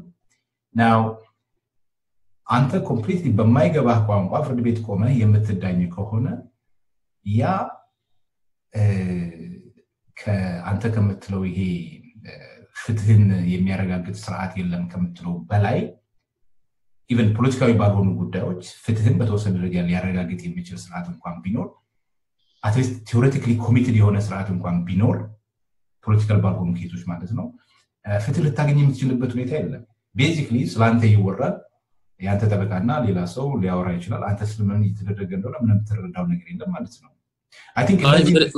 መደምደም ይከብዳል። የግድ ላይሆን ይችላል። ለምሳሌ በፊት በሌላ ቋንቋ እየተተረጎመ በአስተርጓሚ በቱርጁማን ሲደረግ የነበረው ፍርድ ሁሉ የተዛባና ፍርደ ገምድል ፍርድ ብቻ ነው ብሎ መደምደም ይከብዳል። በዛው ልክ ደግሞ አሁን ያሉትንም በቋንቋቸው የሚደረገውን የፍርድ አሰጣጥም ሙሉ በሙሉ ፍትህ አስገኝቷል ማለትም ይከብዳል። ያው necessarily ማለት ይከብዳል። ግን በምትሰማው ቋንቋ መዳኘት ማለት የቀረበብህን ክስ መገንዘብ፣ ለዛ ክስ በራስ ቋንቋ መልስ መስጠት ማለት I think የፍትህ essential የሆኑ element ኦቹ ናቸው ብዬ አስባለሁ። አንዳንድ ጊዜ እንግዲህ እንደምታዩት እኔም የክርክሩ አባል የሚሆንበት ሁኔታ አለ። moderator ነኝ፣ ግን እኔም የ discussion ኡ participant ነኝ። ትንሽ አዲስ ነጥቦችን ራሴ እንደ ክርክር insert ባደርግ እንድትረዱ ይፈልጋለሁ። I'm not just moderator እኔም የክርክሩ የንግግሩ ፓርቲ ነኝ ብዬ ነው የማስበው። እስቲ እንግዲህ አሁን ያነሳናቸው ከስርዓቱ አፈጣጠር አንጻር ዲሞክራሲያዊ ያልሆኑ essentially ስርዓቱን እስካሁንም ድረስ ዲሞክራሲያዊ እንዳይሆን ያደረጉ መሰረታዊ ነጥቦች እንዳሉ ነው እያነሳን ያለ ነው እና በአንድ በኩል ስርዓቱ መጀመሪያውኑ ዲሞክራሲያዊ የመሆን intention የለውም የሚል ነጥብ ተነስቷል። ሊሆንም አይችልም፣ constitutively አይሆንም የሚል ነጥብ አንሰናል። በሌላ በኩል ደግሞ intention ኦቹ የተለያዩ ሊሆኑ ይችላሉ፣ complicated ሊሆኑ ይችላሉ። ምናልባት divide and rule ለዛ አመቺ ስለሆነ ነው። ነገር ግን ሌሎች factor ኦችም ሊኖሩ ይችላሉ ብለናል። እስቲ ያንን እዛው ጋር እናንጠልጥለውና ያለፉት አሁን almost ሀያ ሁለት ስንት ሀያ ሁለት ዓመት ነው ህገ መንግስቱ almost ሀያ ሁለት ዓመቱ ማለት ነው ህገ መንግስቱ ተግባራዊ ከሆነ በዚህ ጊዜ የነበረው ሂደት ከህገ መንግስቱ መጽደቅ በፊት ከነበረው ሂደት ጋር consistent ነው? ያኔም undemocratic ነበር፣ አሁንም undemocratic ነው ወይንስ ህገ መንግስቱ ውስጥ ያሉት እሴቶች የተቀመጡት መብቶች በተወሰነ ደረጃ የተከበሩበት ሁኔታ ነበረ? ምንድን እንግዲህ ቀድሞ የነበረው process undemocratic ነው ብለናል። ከዛ በኋላ የነበረው ለውጥ ነበረው ወይንስ ከዛ undemocratic process ጋር consistent ነበረ? ጌዲዮን constant አልነበረም ማለት አንዳንዴ consistent ነው ያልኩት።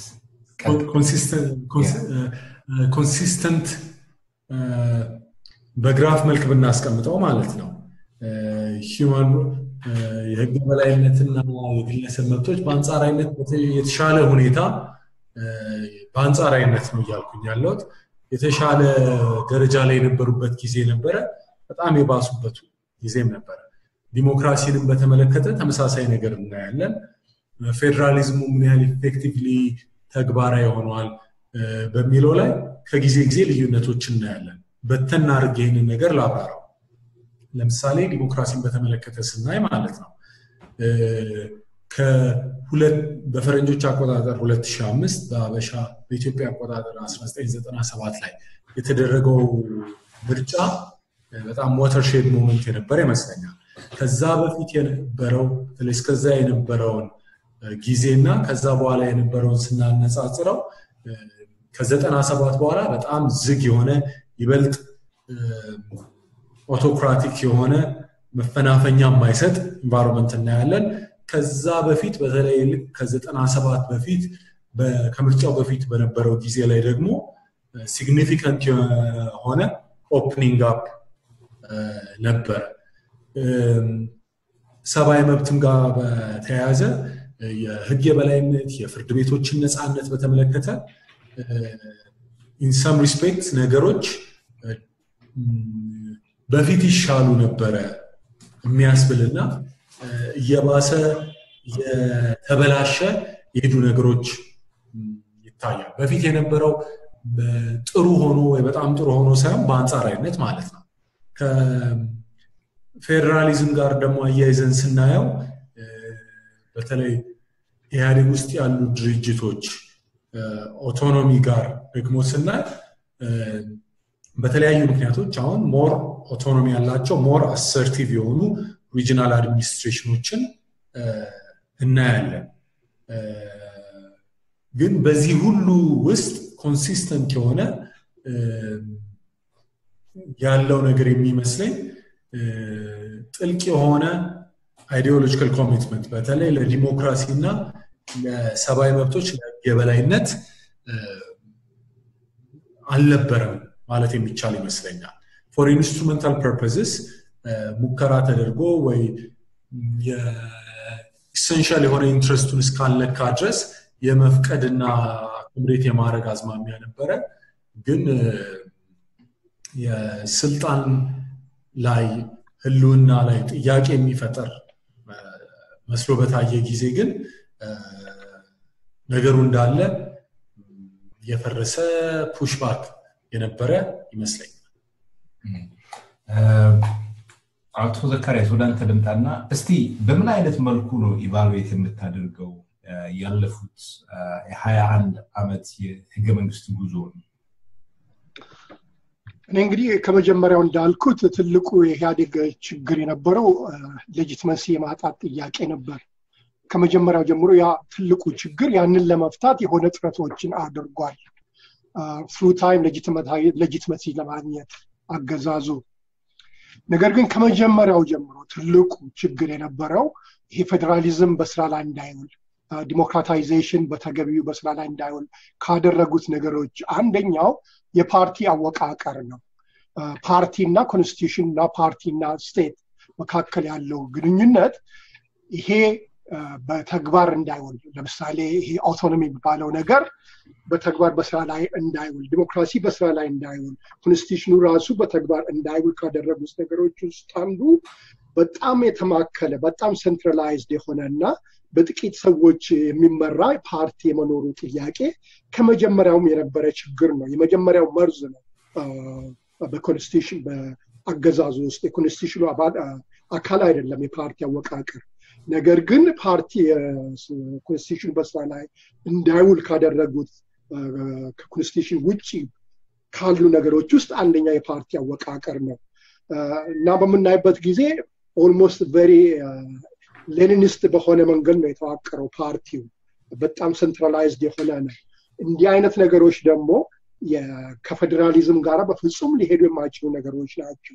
ፌዴራሊዝም ሲባል አንደኛ self rule እና self rule ለምንድን rule ነበር የሚባለው? shared rule የሚባሉ ነገሮች በአንድነት መኖር የሚገባቸው ሁኔታዎችን መፍጠር ያለበት ሁኔታ ነው። ነገር ግን ፓርቲ እንዲህ ተዋቅሮ ሁሉ ውሳኔ በፓርቲ በሚወሰንበት ሀገር ውስጥ shared rule ም ሊኖር አይችልም፣ self rule ም ሊኖር አይችልም። ያ ከመጀመሪያው ጀምሮ የነበረ ችግር ነው። እስከ መጨረሻ ደግሞ እየባሰበት ነው የሄደው እና በተወሰነ ደረጃ self rule ኡ ትንሽ መንቀሳቀስ ሲጀምር እግር ማውጣት ሲጀምር developmental state በሚባለው ደግሞ እንደገና ያ concept መጥቶ የፓርቲውን አወቃቀር የበለጠ አጠናከረው ማለት centralized አደረገው። ሁሉ ውሳኔ ከፓርቲ ውጭም እድገቱም ፕላኑም ሁሉ centralize እንዲያደርግ ያደረገ concept ደግሞ ተጨመረበት። Leninist ፓርቲ በተጨማሪ ይሄ developmental state የሚባለው concept ተጨማምሮበት የበለጠውኑ ፌዴራሊዝም በሀገር ውስጥ በስራ እንዳይተረጎም ያደረገ ሁኔታ ነው የፈጠሩት ለማለት ፈልጌ ነው። exactly revolutionary democracy መጀመሪያ ላይ ከዛ በኋላ developmental democracy essentially ከፌዴራሊዝም እንደ ጽንሰ ሀሳብ አብሮ ሊሄዱ የማይችሉ ፌዴራሊዝም ሊፈታቸው የሚችላቸውን ወይም ደግሞ ታሳቢ የሚያደርጋቸውን ችግሮች ኢሴንሽሊ አንደርከት የሚያደርጉ ፖሊሲዎች እስቲ እንመለሳለን ወደ እነዚህ ፖሊሲዎች አናንያ ወደ አንተ ልምጣና እስቲ እንዴት ነው የምትቃኘው ያለፈውን የሀያ ሁለት ዓመት የህገ መንግስቱ ጉዞ? መልካም እንግዲህ ያው ህገ መንግስቱ ጉራማይሌ የሆነ ተፈጥሮውን ይዞ እንግዲህ ሀያ ሶስት ወይም ከዛ በላይ አመታት ቀጥሏል የግለሰብ መብትን promise ያደርጋል። የህዝቦችን የመደራጀት ሀሳብን በነፃነት የመግለጽ ሰብአዊ መብቶችን የፕሬስ ነፃነትን መድብለ ፓርቲን እንዲህ እንዲህ የመሳሰሉ ነገሮችን ያው በዲስኩር መልክ ወይም ደግሞ በጽሁፍ መልክ እውቅና ይሰጣል። በተግባር ግን እነሱ ሲተገበሩ አልታየም ያው ከፍና ዝቆቹ እንዳሉ ሆነው በአንጻራዊነት በነፃ ፕሬስ ረገድ ወይም ደግሞ በግል ፕሬስ ረገድ ብንወስደው የተሻለ environment የነበረበት ጊዜ ነበረ። ያ ነገር ደግሞ እየባሰ እየባሰ እየባሰ ሄደበት ጊዜ አለ። ይሄ እንግዲህ consistent የሚሆነው ከምን ጋር ነው? ብልጣ ብልጥ አምባገነን ነው ስርዓቱ። እንደ ደርግ ወይም ደግሞ ከዛ በፊት እንደነበሩት heavily በጉልበት ብቻ የሚመካና በጉልበት ብቻ የሚሰራ አይደለም። በተለያየ መልክ ብዙ ጊዜም ዶክተር መረራ ጉዲና እንደሚያነሱት በአንድ እጅ አሞሌ ጨው በአንድ እጅ ደግሞ ጠመንጃ ወይም carrot stick የሚባለውን መስመር ነው technique ነው ይዞ የሚሄደው እና በዛው ረገድ እንግዲህ እያፈራረቀ እነዚህን የተጠቀመበት መልክ አለ። ብልጣ ብልጥ አምባገነን ነው። ወደ ስልጣን ሲመጣ የነበረው ዓለም አቀፍ ነባራዊ ሁኔታ ከሁለት ዋልታ ወደ አንድ ወደ አሜሪካ የበላይነት በነበረበት ጊዜ ስለመጣ በፍጥነት እንግዲህ መልኩን ቀይሮ የነፃ ገበያና የዲሞክራሲ አቀንቃኝ ሆኖ የተከሰተበት ሁኔታ አለ። በሂደትም ደግሞ የምዕራባውያንን ብድርና ማን ነው ብድርና እርዳታ እንዲሁም ዲፕሎማሲያዊ ድጋፍ ለማግኘት ሲባል የዚህ የነፃ ምርጫ ውስጥ የተገባበት ነገር አለ። ያ ግን ባክፋየር ሲያደርግ ደግሞ ወደ ትሩ ኔቸራቸው ማስካቸውን አውልቀው ወደ መግለጥ ነው የመጡት። የኦሮሞንም ጥያቄ በተመለከተ ከዛም በፊት የሙስሊሙን ጥያቄን በተመለከተ ስናየው በፊት ከኢትዮጵያ ስርዓተ መንግስት ተገለው የነበሩ ወይም ደግሞ excluded ሆነው የነበሩትን ይዞ ያንን የድጋፍ base ኡ በማድረግ ለመንቀሳቀስ የሞከረበት ጊዜ አብቅቶ ከነሱም ጋር ጭምር መላተም እየጀመረ ወደ total monopoly of power ሲሄድ ምክንያቱም ትግራይ ላይ effectively የተጠቀመውን ቴክኒክ ወይም ህዝብን የመጠርነፍ ስትራቴጂ ወደ መሀል ሀገርም እያሰፋው ወደ ሌሎች በ proxy ወይም ደግሞ በእነዚህ surrogate organization ይመራቸው የነበሩትን እንደነ ኦሮሚያ እንደነ አማራ እንደነ ደቡብ ያሉትን ሁሉ እዛም ላይ grip on power እየጨመረ ሲሄድ እንግዲህ የተፈጠሩ መፈረካከሶች አሉ። በተለይ ከአቶ መለስ ሞት በኋላ እና የዚህ የአብዮታዊ ዲሞክራሲ መነሻና መድረሻው ያው የሁሉንም ነገር መቆጣጠር ወይም totalitarian የሆነ ambition ነው። ይህን ደግሞ በግልጽ የሚያስቀምጡት ነው። እኛ development አለን ስለዚህ ጊዜ ሊኖረን ይገባል። ወንዙ መሀል ፈረሱ አይቀየርም። እንዲህ የሚሉ ነገሮችን እየተጠቀሙ indefinitely ስልጣን ላይ መቆየት ህልም ነው። ይህም እንግዲህ በጥሩ ሁኔታ በአቶ ሌንጮ ለታ እንደተጻፈ አስታውሳለሁ። የ extracting prime minister መለስ extracts በሚል አንድ የወጣ ጽሁፍ ነበረ። ልማታዊ መንግስት ነኝ በሚል ሰበብ ስልጣን ላይ ለዘላለም የመቆየት ስትራቴጂ እንደሆነና ራስን ደግሞ ከአንድ የብሔር ልዕልና ጋራ በማቆራኘት ሊፈጥሩት ከሚፈልጉት የስልጣን ተዋረድ hierarchy ጋር በተገናዘበ መልኩ operate ስለሚያደርጉ ያም እንዳልተሳካ የዚህ የ land grab issue ብናነሳውን ለምሳሌ በዋናነት ራሳቸውን ልማታዊ መንግስት ነን ካሉበት በኋላ ነው የክልሎች መሬት ጭምር ወደ መሬት ባንክ ተብሎ በፌዴራል እንዲተዳደር አንዳንድ ተሰጥተው የነበሩ የስሙላ ስልጣኖች ራሱ ተነጥቀው ወደ ማዕከላዊ መንግስት እንዲገቡ የሆነበት ሁኔታ የዚህ የኦሮሚያው master plan ን ጭምር ማንሳት ይቻላል። ስለዚህ ያ ያ ነገር ፌዴራሊዝም የሚለው ቅድም እንደተነሳው በአቶ ሚኒስቷ ካሉት ሰው እንግዲህ እንደተነሳው የዚህ የሼርድ ሩል እና የሰልፍ ሩል ጉዳይ ጭራሽ ሚዛኑ ተዛብቶ በፊት በስውር የነበረው ነገር አሁን በግላጭ በይፋ ሚዛኑ የተዛባበት ነገር ነው የሚታየው። ስለዚህ እነዛ ነገሮች ደግሞ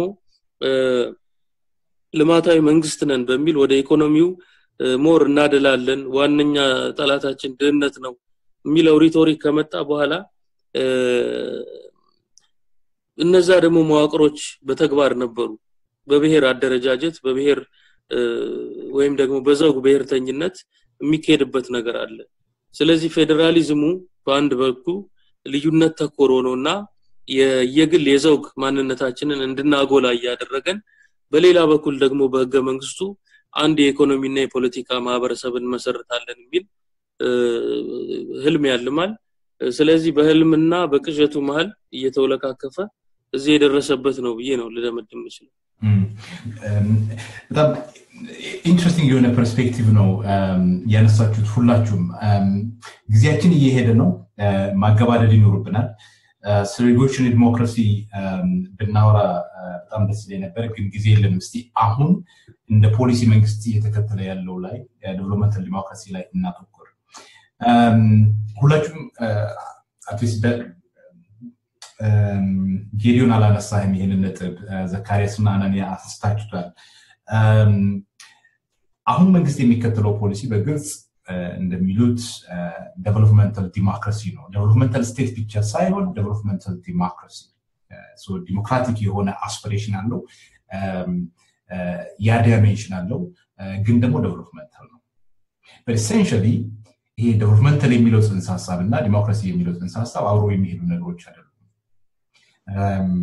ጠቅላይ ሚኒስትር መለስ በነበረበት ጊዜ የዚህ ሀሳብ intellectual level same time ደግሞ እንደ መሪም ይህን articulate ያደርገው መለስ ነው።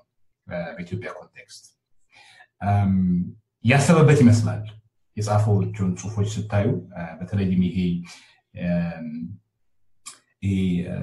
የ masters dissertation ኑ ተብሎ የሚቀርበው ማለት ነው ያ ጽሁፍ የሚያነሳቸው compelling የሆኑ ነጥቦች አሉ። እስኪ እነዛን ነጥቦች ላስታውሳችሁና የእናንተ reaction ማግኘት ፈልጋለሁ። የሚያነሳው ሀሳብ እንደ ኢትዮጵያ ላሉ ድሃ አገሮች ቅድም አናንያ እንዳለው ዋናው ትልቁ requirement ትልቁ context ኣችን ይለያያል። ወደ context ኡ እመጣለሁ። ትልቁ primary የሆነው የፖለቲካም ሆነ የሀገር interest economic growth ነው ይላል። economic growth ን ደግሞ secure ለማድረግ achieve ለማድረግ ዲሞክራቲክ መሆን መቻል የለብን። there's no direct relationship between democracy እና economic growth። አንድ ከዛ አለፍ ብሎ የሚያነሳው interesting የሆነው ነጥብ ምንድን ነው? ዲሞክራሲን build ለማድረግ የሚያስፈልገው social capital ን ለመገንባት ይሄ የ developmental state የሚገነባቸው infrastructure ኦች የሚገነባቸው ideology ዎች ወሳኝ ናቸው የሚል ነጥብ ያነሳል። ይህ ማለት activist state አለ።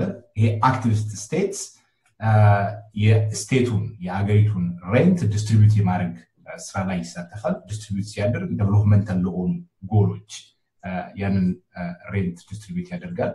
in process ዲሞክራሲንም support የሚያደርግ developmental state ንም support የሚያደርግ infrastructure social capital build ያደርጋል የሚል ክርክር ነው የሚያነሳው።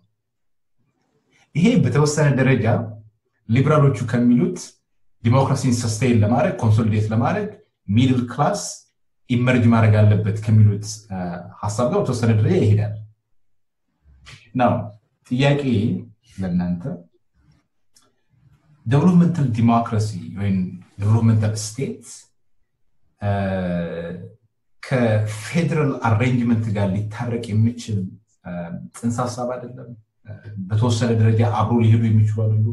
ይሄ ዲሞክራሲን build ለማድረግ ይሄ social capital ያስፈልጋል ስለሚባለው point ምንድን ነው የምትሉት? ጌዲዮን ከአንተ ልጀምር።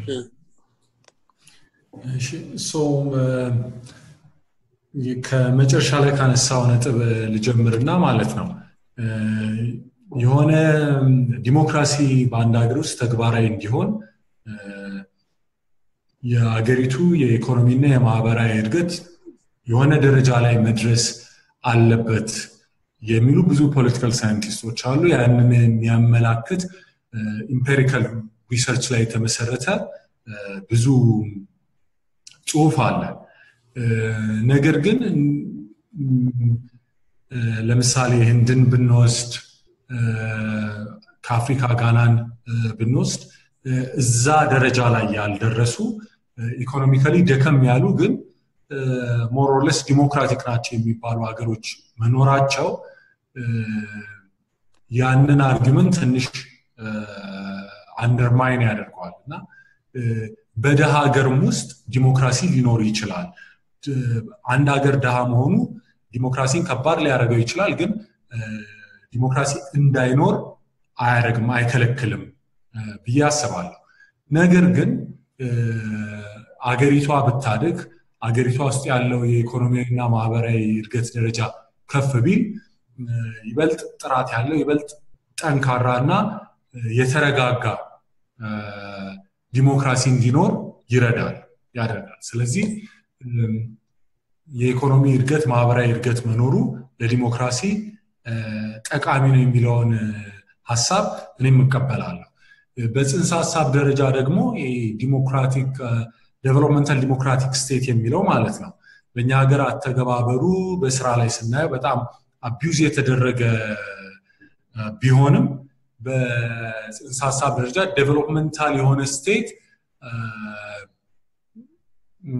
የግድ autocratic ይሆናል ብዬ አላስብም። mutually exclusive የሆኑ አይመስለኝም እና developmental democracy የሚለው ከኢትዮጵያ ውጭ ደቡብ አፍሪካም በብዛት ሲነሳ ይታያል እና ሰፊ የሆነ የህዝብ ተቀባይነት ያለው ሰፊ መሰረት ያለው political party ቢኖር እንደዚህ ያለ ሀሳብን የሚያቀነቅን developmental democracy የሚባል ጽንሰ ሀሳብ oxymoron አይመስለኝም። developmental and democratic የሆነ state ሊኖር ይችላል ብዬ አስባለሁ። ኢትዮጵያ ውስጥ ግን እንደዛ ያለ ነው እንደዚህ ያለ state ነው እያየን ያለ ነው ብዬ አላስብም። ከፌዴራሊዝም እና developmentalism የሚለው ሀሳብ ጋር ስንመጣ እዛ ላይ tension ኡ ይበልጥ ይጎላል። ምክንያቱም developmental state central planning presuppose ያደርጋል። single minded የሆነ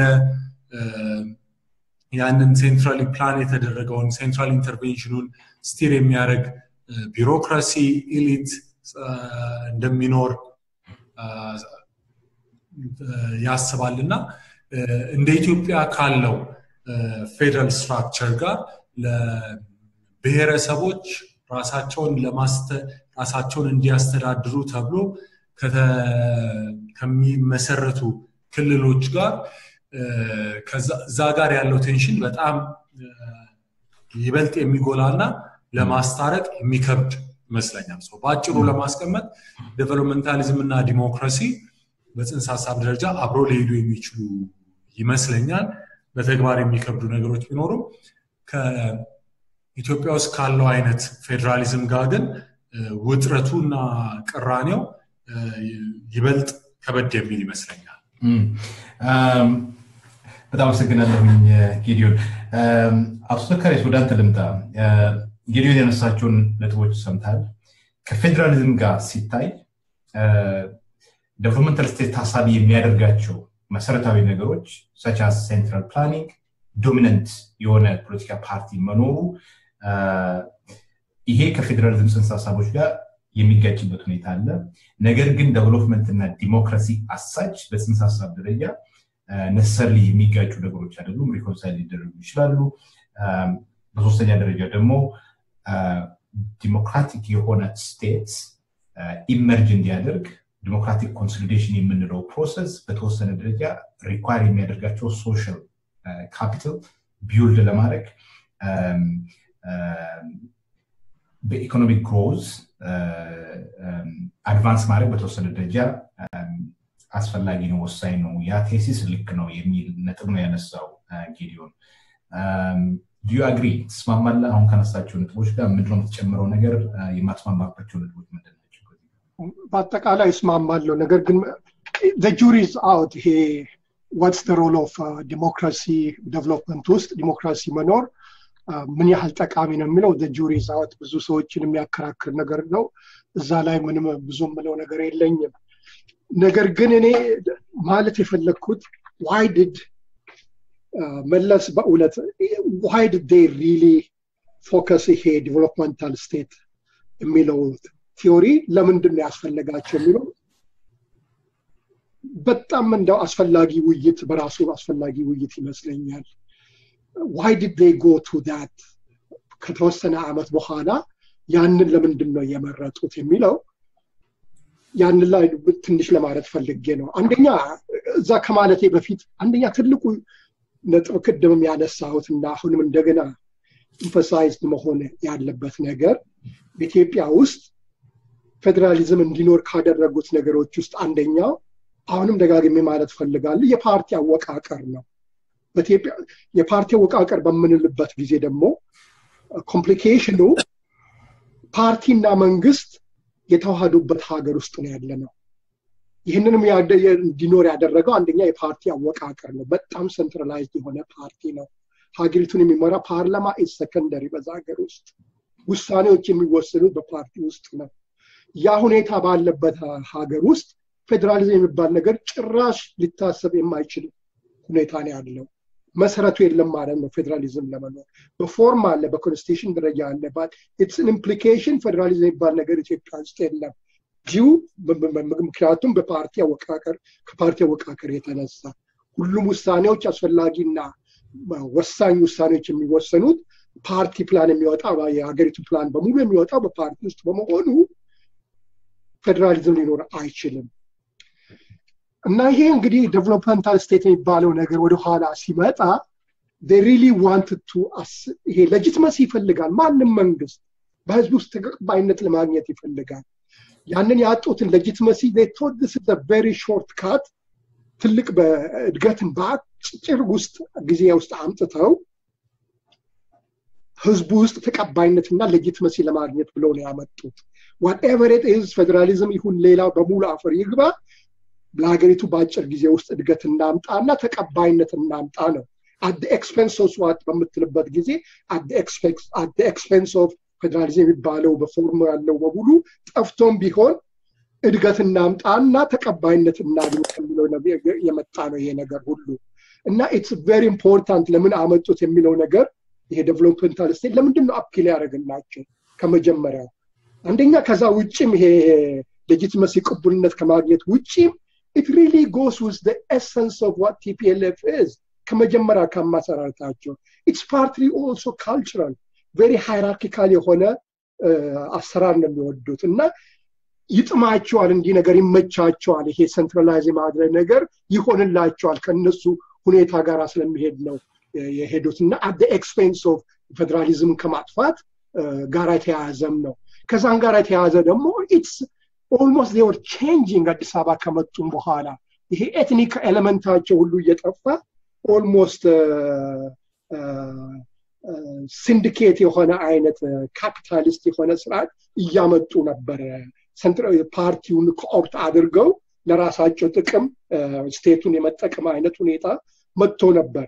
እና ከዛም ጋር ይያያዛል ይሄ ያሉ ያመጡት ወደኋላ ያመጡት አሰራር ለማለት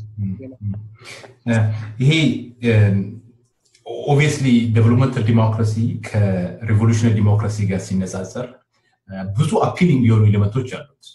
revolutionary democracy ሲሉ በነበረበት ጊዜ ስርዓቱ revolutionary ም አልነበረም ዲሞክራቲክም አልነበረም ሁለቱም አልነበረም። ይሄኛው ግን developmental democracy የሚሉት ዲሞክራሲውን ምንም ማየት ባይቻልም development ን በተመለከተ ሊያሳዩ የሚችሉት አንዳንድ ነገሮች አሉ። እነሱ በሚሉት መልኩ ላይሆን ይችላል ነገር ግን point ሊያደርጉበት የሚችሉት የተሰራ መንገድ የተገነባ ትምህርት ቤት የተገነባ bridge and so on so forth ሊያሳዩ የሚችሉት ነገር አለ። interesting የሆነው ነገር ምንድን ነው you're absolutely right ይሄ ከዛ ፓርቲ constitution ጋር ከአፈጣጠሩ ጋር consistent ነው ያልከውን point ለማጠናከር ነው። ይሄ centrally planned መደረግ መቻል አለበት ትልቁ dominant የሆነው የአገሪቷ አጀንዳ ልማት ነው። ልማትን የሚጻረር ልማትን የሚቃወም በዲሞክራሲ ስምም ሆነ በሌላ መልኩ የሚቃወም ካለ የአገሪቷን national survival እየተቃወመ ነው። ስለዚህ ያ ጠላት ነው። ይሄ anti developmental ይሄ ጸረ ልማት ጸረ ሰላም የሚለው buzzword ይሄ discourse ኡ ነው የወጣው precisely። ያንን interest ለመጠበቅ ነው ያንን ideology defend ለማድረግ ነው ያ የነበረው impact ምንድነው? ህገ መንግስቱ essentially suspend እንዲሆን ነው ያደረገው። ህገ መንግስቱ ላይ የተቀመጡ ሰብአዊ መብቶች ዲሞክራሲያዊ መብቶች አሉ።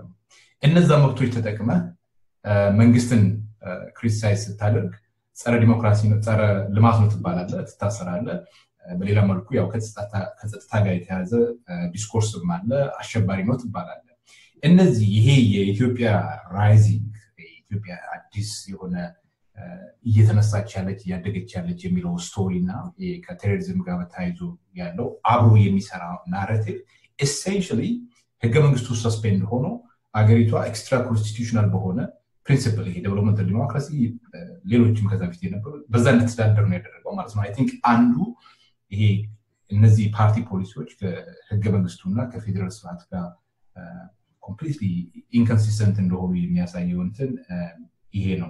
ስለዚህ ያንተን point ለማጠናከር ነው። አናኒያ ወደ አንተ መጣለሁ ቅድም ያነሳው interesting የሆነ point አለ። ይሄ developmental democracy ህገ መንግስቱ ከሚለው emphasis on difference cultural identity difference ላይ emphasize ያደርጋል ህገ መንግስቱ በዚህ በ developmental discourse እያየን ያለነው ነገር is move away ከዛ የመሸሽ አይነት ነገር ነው በተወሰነ ደረጃ። ለምሳሌ የ Grand Renaissance Dam GERD Grand Ethiopian Renaissance Dam ከእሱ ጋር በተያያዘ ያሉትን discourse ኦች ብታዩ almost pan Ethiopian ብቻ ሳይሆን pan Africanist ም ነው።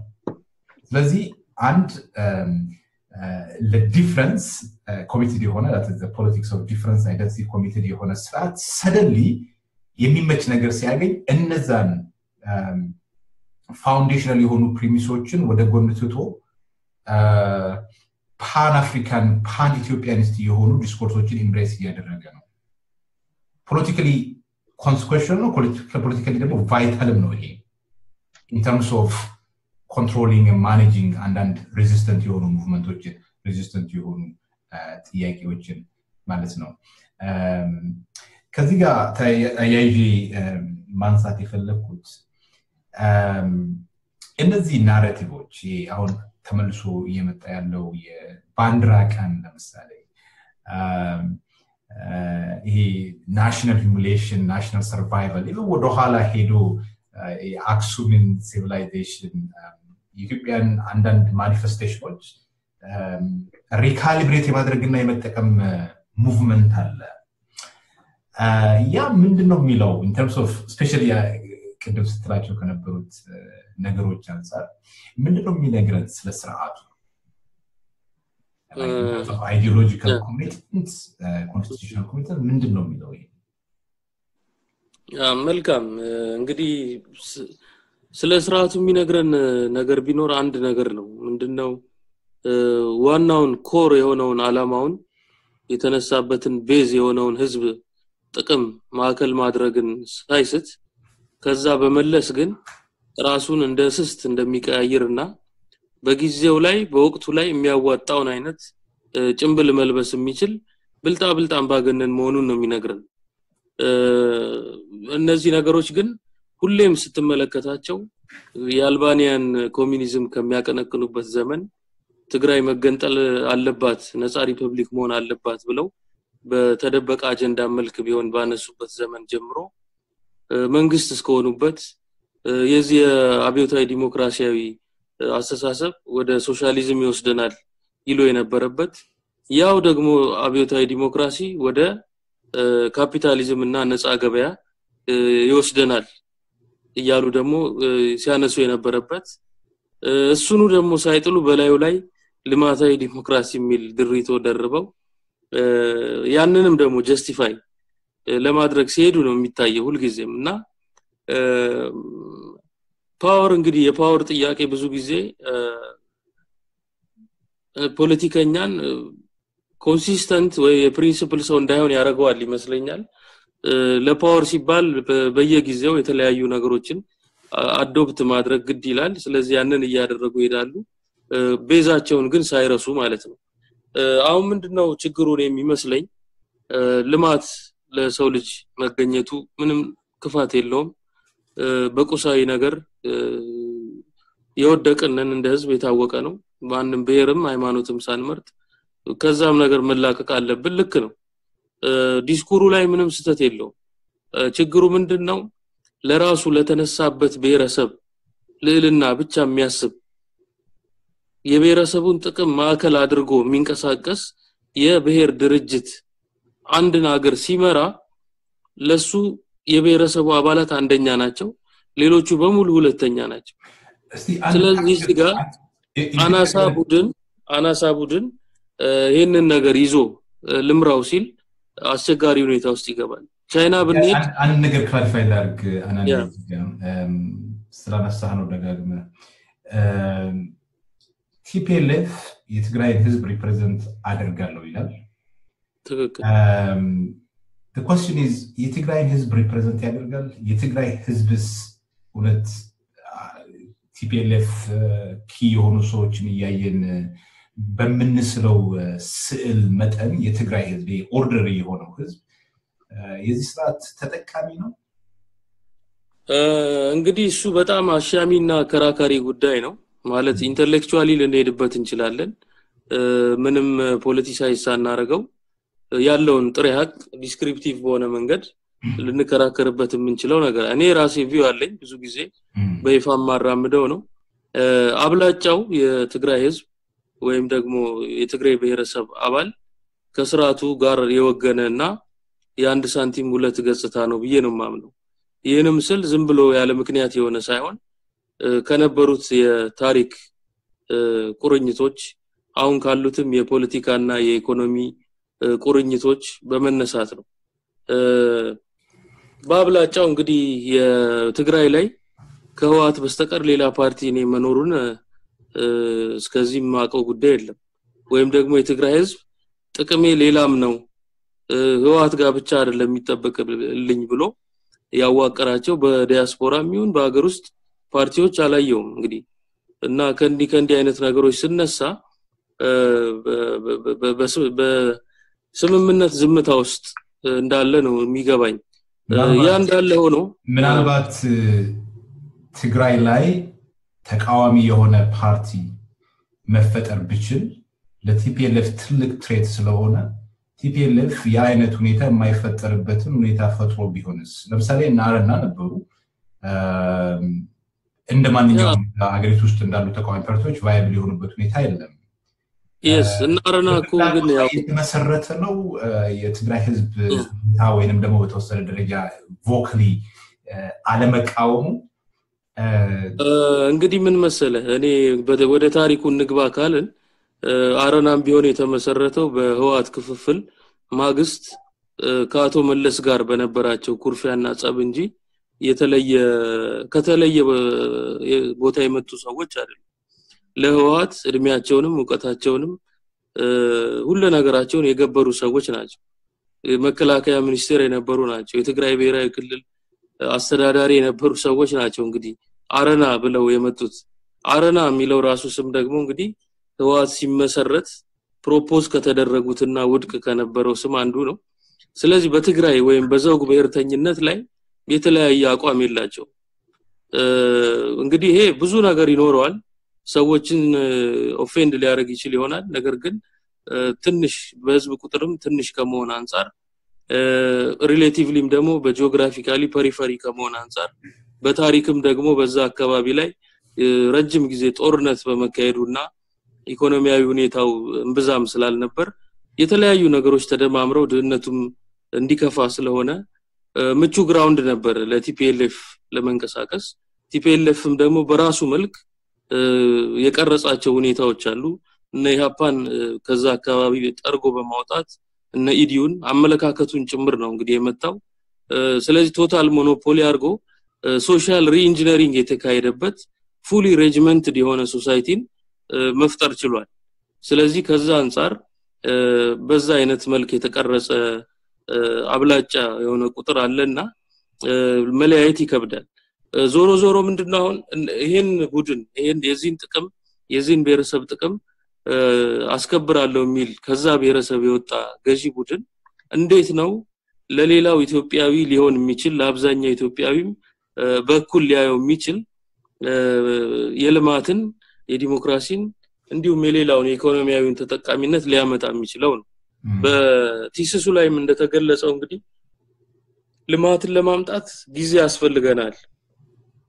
በአንድ የምርጫ ፔሪየድ ብቻ የማይከናወኑ ነገሮች አሉ። ትልልቅ ፕሮጀክቶች አሉ። ስለዚህ ስልጣን ላይ ላልተወሰነ ያህል ጊዜ ቆይተን ዋና ዋና fundamentals ኦችን ሰርተን ከዛ በኋላ ነው ወደ social democratic party እና ወደ liberal party ሊያድግ የሚችለው political economy ው ሲቀየር የሚል thesis ነው አቶ መለስ ያቀነቅኑ የነበረው። ይህ ደግሞ እንግዲህ በዋናነት ስልጣን ማን ነው ልማትን እንደ ታክቲክ ስልጣንን ደግሞ እንደ ግብ የሚመለከት አተያይ ነው። ስለዚህ ስልጣን ላይ ለተራዘመ ጊዜ ለመቆየት justify ለማድረግ ነው። ይህን ደግሞ በአንድ ክርክር ወቅትም በፊት የውጭ ጉዳይ ሚኒስትር የነበሩት በግልጽ ተናግረውታል። እንግዲህ በወንዙ መሀል ፈረስ አይቀየርም በማለት ነው እንግዲህ የገለጹት which means ልማትን የምናመጣ የልማት ኃይሎች ነን እና ግድቡን ገድበን እስክንጨርስ እንዲህ እንዲህ የሚሉትን ነገሮች በሙሉ አድርገን እስክንጨርስ ስልጣን ላይ መኖራችን ግዴታ ነው የሚል አተያይ ነው እንግዲህ ያለው። ያ እንግዲህ የሞዴሉ አተያይ ሊሆን ይችላል። ነገር ግን ስልጣንን በዋናነት የጨበጠው ጠባብ ርዕይና የአናሳ ቡድን ወኪል የሆነ ኃይል ሲሆን ሊሳካ ይችላል ወይ የሚለው ነው ዋናው ቁም ነገር ያለው እዛ ጋር። በቻይናም ብንሄድ ዘጠና percent እንግዲህ ሃን ብሔረሰብ ነው የሚገኘው። Mandarin ቋንቋ ነው የሚያወሩት። majority ው ሲይዘው ምናልባት የብሔርተኝነቱም ጉዳይ ጠንካራ ነው የሚሆነው። ከ nationalism ጋር ነው ሁልጊዜም ልማታዊ መንግስት የሚሄደው። በጃፓንም ብንመለከት ከፍተኛ የሀገር ፍቅር እና nationalism ያለው ጀርመንንም ጭምር እንደዛው ማየት ይቻላል። late industrializers ናቸው። ያው በ developmental state መንግስት በተመረጠ አኳኋን ጣልቃ በመግባት heavy industries ላይ research and development ላይ invest እያደረገ ሆም ብሎ deliberate በሆነ መንገድ እንዲያነሳው ያንን ሀገር የሚካሄድ አደራረግ ነው እና ስንመለከተው በአለም ላይ የተከሰተው በጣም nationalist በሆኑ እነ ታይዋንም እነ South Korea ንም ማየት ይቻላል መንግስታት ነው እነ ጀነራል ፓርክንም ጭምር እዚህ ግን ያለው nationalist ሳይሆን ethnic nationalist ከዛም ደግሞ የውስን ብሔረሰብ አናሳ የሚባለውን minority ይዞ ይህንን ህልም ማሳካት የማይቻል ነው ማለት ነው። ስለዚህ ቁልፉ የኢኮኖሚ ጥያቄ ነው። ዞሮ ዞሮ ስልጣን ላይ ለመውጣት የብሔር ጥያቄን ያራግቡ ነበር። ስልጣን ላይ ለመክረም ደግሞ የልማት ጥያቄን ማስተጋባት ጀመሩ። ነገር ግን ዞሮ ዞሮ ያንን ጠባብ የቡድን ጥቅማቸውን ለማስጠበቅ ከመሄድ በስተቀረ genuine የሆነ አካሄድ አልነበረውም ማለት ነው። Okay I think በአብዛኛው ባነሳኸው ነጥብና ትንታኔ እኔ እስማማለሁ። ግን I think አንድ ትንሽ nuanced በሆነ መልኩ problematize ማድረግ የሚገባን በገዢውና በሚከተለው ህዝብ መካከል ያለውን ግንኙነት ይመስለኛል። Probably ኦህዴድ የኦሮሞን ህዝብ ወይም ደግሞ ብአዴን የአማራን ህዝብ ከሚወክለው በላይ TPLF የትግራይን ህዝብ ላይወክል ይችላል። ምናልባት ላትስማማ ትችላለህ። ነገር ግን እነዚህ repressive በሆነ አገር ህዝቦች ለአንድ ፓርቲ loyalty እንዲያሳዩ የተለያየ ነገር እየተነገራቸው በተለያየ መልኩ ደግሞ የሩዋንዳ ሁኔታ ሊከሰት ይችላል። አንዳንዴ ፓርቲው የሚላቸውን ነገር የሚያጠናክር ነገር ሌላ ህብረተሰብ ሲል of course ምናልባት የህብረተሰብ ወጥቶ ምናምን ያንን ፓርቲ ላይኮንን ምናምን ይችላል። የምታየው dissent እዛ አካባቢ በጣም የቀነሰ ሊሆን ይችላል። At any rate የኔ point ምንድን ነው? በገዢው አካልና በህዝብ መካከል የሚኖረው ግንኙነት I think ከዚህ በተሻለ nuanced በሆነ መልኩ መታየት ያለበት ይመስለኛል። At least እኔ በእኔ እይታ እንደዛ አንተ ይህም አንድ እይታ ነው እንግዲህ ሌላ እይታ ያስፈልጋልም ደግሞ ከተባለ ሲናይና የሚያሳምን ከሆነ እንገዛዋለን ግን ለጊዜው የሚያሳምነኝ ይሄ ነው እኔ I, I think እኔም እያልኩ ያለሁት ይሄ ትንሽ ከፈት ልናደርገውና የተለያዩ ይገባኛል። Politically correct statement ላይሆን ይችላል። እነሱ በዘር ተቧድነው አንድን ሀገር ሲበዘብዙ ሲጠቃቀሙ እያየን ይሄን ስንናገር ዘረኛ ሲሉን ብዙም መፍራትም መሸቀማቀቅም ያለብን አይመስለኝም እኔ for practical reasons ምክንያቱም እነሱ ሊያፍሩ ይገባል በዚህ እንጂ ሌላው ያን የሆኑትን ነገር ስለተናገረ ምልህ ህዝብ ላይም ጥላቻ ኖሮኝ አይደለም። ምንም የተለያየ ጥሩ መጥፎም ሰው አለው እንደ ማንኛውም ህዝብ ይገባኛል። ግን politically speaking ህብረተሰቡ ራሱን አይወክሉኝም። እነዚህ በእኔ ስም የሚነግዱ ናቸው። እኔም መብት ይገባኛል ብሎ ለመብት በሚደረገው ትግል ላይ አጋርነቱን ካላሳየ ከጭቁኖች ጋር አብሮ ቆሞ እጅ ለእጅ ካልሄደ ትንሽ አስቸጋሪ ነው የሚሆነው። ምክንያቱም በትጥቅ ትግልም መልክ በተለያየም ነገር በአብሮ ተጣብቆ የተሰፋበት መልክ ትንሽ ከፍ ያለ ነው እና ያው ልጆቻችን ናቸው በሚል ስሜት የሌሎች ልጆች ደግሞ በአደባባይ ሲገደሉ እያዩ ዝም ማለት ትንሽ ለወደፊቱም አብሮ መኖር እስቲ ሌሎቹን እንግዶችን ላምጣቸው እዚህ ጉዳይ ላይ. Significant topic of conversation እና ምንድነው የእናንተ እይታ እዚህ ጉዳይ ላይ? Think ይሄ በሰፊው ብዙ ጊዜ ሰዎችን የሚያከራክር ነው። አቶ ዘካሪያስ ምንድን ነው የሚሉት እኔ አሁን አናን የሚለው narrative ጠቃሚ አይመስለኝም። አንደኛ እሱ ከሚፈራቸው ይሄ ትግራይን ህዝብና TPLF ን አንድ ላይ ማድረግ እሱ የሚላቸው ነገሮች ህዝቡ ወደዛ እንዲሄድ ከሚገፋፉት ነገሮች ውስጥ አንደኛው ነው። በአጠቃላይ ሰዎች ሲናገሩ TPLF እና ህዝቡን የትግራይን ህዝብ አንድ ስለሚያደርጉ ወደዛ የሚገፋፋ ከሚገፋፉ ሁኔታዎች ውስጥ አንደኛው ይሄ ነው። ስለዚህ እዚህ ላይ መጠንቀቅ ያስፈልጋል። ግን አንድ ያልሆኑበትን ደግሞ መንገድ ብናይ ነበር። እሺ ይቀጥሉ አቶ ዘካሪያስ ከዚህ በዚህ በተጨማሪ ደግሞ it's always አስጊ ሁኔታ ነው ድርጅቶችና ህዝብን አንድ ማድረግ ተገቢ አይመስለኝም። በተወሰነ ደረጃ ልዩነት አለ። ከዛም አልፎን በምናይበት ጊዜ ደግሞ in fact TPLF ንም እኔ ዱሮ TPLF ን እና የአሁኑ TPLF ም አንድም አይመስለኝም አንድ ወጥም አይመስለኝም። in fact ትግራይ ያለ TPLF እና እነሱን ህዝቡን ወክለናል የሚሉ አዲስ አበባ የሚቀመጡ TPLF ኦችም አንድም አይመስሉኝም። ትግራይ ውስጥ ሆኖ ህዝቡን ለማገልገል የትግራይን ህዝብ ቀን በቀን የሚያስተዳድሩ ሰዎች እና አዲስ አበባ ይሄ በዝባዥ ሆነው ከኒቮ የአዲሶቹ ሀብታሞች ጋር ሆነው ዲሞክራሲ እንዳይመጣ ከሚያደርጉት መካከልም ልዩነት አለ። እና ይሄ በአንድ ብሮሽ ሁሉንም እንዲህ አንድ ላይ ማጠቃለል የራሱ የሆነ ብዙ ችግሮች አሉት እና እንዲህ አይነት ለወደፊትም ደግሞ ከህዝቦች ጋር በሚመጡት ግንኙነቶች መካከልም ብዙ ችግር ሊፈጥር ስለሚችል ጥንቃቄ ማድረጉ ጠቃሚ ይመስለኛል እኔ። በተጨማሪ ደግሞ ትግራይ ህዝብ ሆነውም ከሌሎችም ጋር ሊቆሙ የሚችሉ ሰዎችን በብዛት እንዳሉ መገንዘብም አስፈላጊ ነው። ይሄንን ስንል ግን ይሄ የተደረገው የቲፒኤልፍ ለትግራይ በአብዛኛው ለትግራይ ህዝብ ምንም አላደረገም ለማለትም አይደለም። በተወሰነ ደረጃ አድርጓል። ነገር ግን ያንንም ቢሆን ጥንቃቄ ማድረግ አለብን። ብዙዎቹ የትግራይ ሚሊዮነሮች ትግራይ ሳይሆን ኢንቨስት በማድረግ ላይ ያሉት በሌላ ክፍለ ሀገሮችም ነው። እና የሆነው ሁሉ ጫና አለው ይሄ ራሱ። ይሄ ስርዓት operate ከሚያደርግባቸው መንገዶች አንዱ ይሄ patronage system consolidate ማድረግ ነው የተወሰኑ ግለሰቦች economically successful እንዲሆኑ መፍቀድ ምናልባት አብዛኞቹ እና ቁልፍ የሆነ ሚና የሚጫወቱት ነገሮችን በቀላሉ economically circulate ማድረግ የሚችሉት የፖለቲካ connection ያላቸው ግለሰቦች ሊሆኑ ይችላሉ። ይሄ ግን exclusively የአንድ ብሔረሰብ ግለሰቦች ናቸው ማለት ይቻላል። በጣም ሀብታም የሆኑ ኦሮሞዎች አሉ፣ በጣም ሀብታም የሆኑ አማራዎች አሉ። ምናልባት ከ percentage አንጻር ምን ያህል ነው ምናምን የሚለው ነገር ላይ I think issue ሊኖር ይችላል። እዛ ጋር በጣም የሀገሪቱን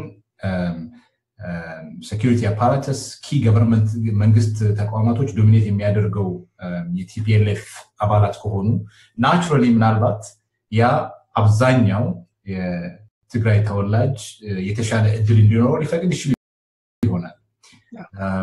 but ምን ያህል exclusive ነው የሚለው I think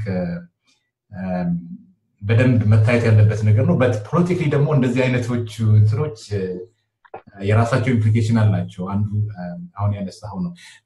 ጌዲዮ ወደ አንተ ልምጣ። ምን ትላለህ እዚህ ነጥብ ላይ?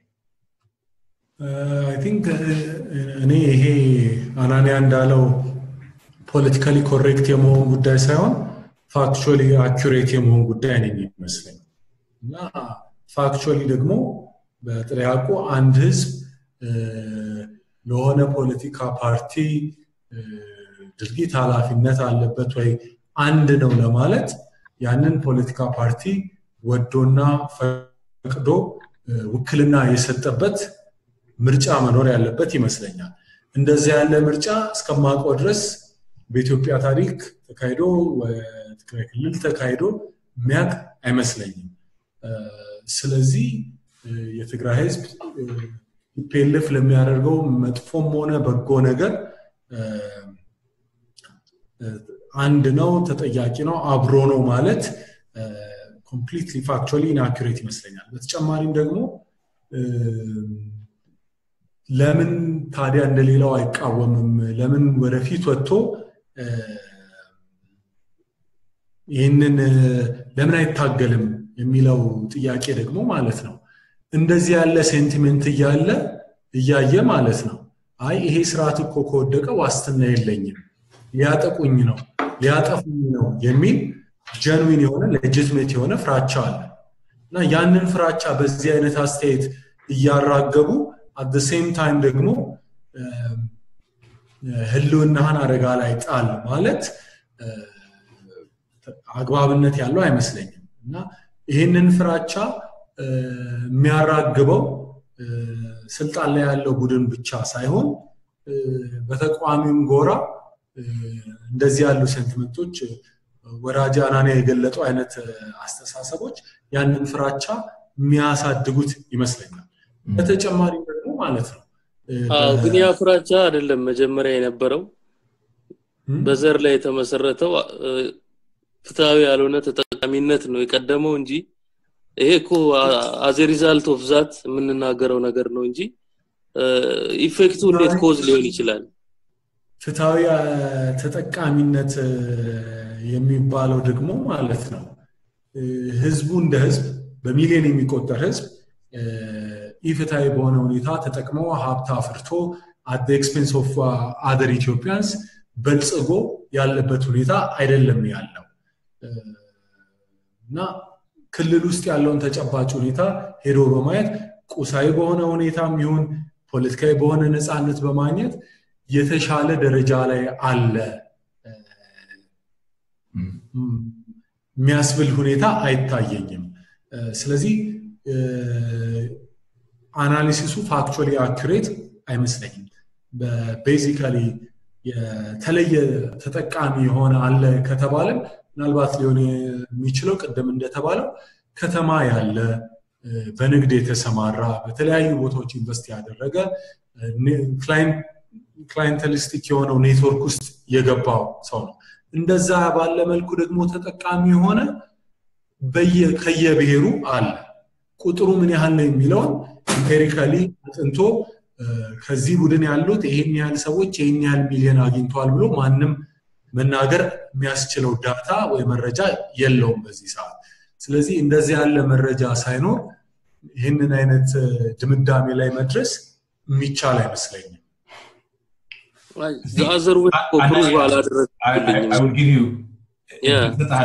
አይቻልም ነው እንጂ what's the other perspective ይህን ነገር ለማየት አማራጭ ውስጥ ምንድን ነው ምክንያቱም empirically እስኪጠና እኮ መጠበቅ የለብንም አንድን ነገር እኔ ለምሳሌ አራት ወር በግፍ ታስር ያለው ምንም ባላደረግኩት ወይም ደግሞ በማይመለከተኝ በፍርድም ባልተጠየቅኩበት ጉዳይ እስር ቤት ነበርኩኝ።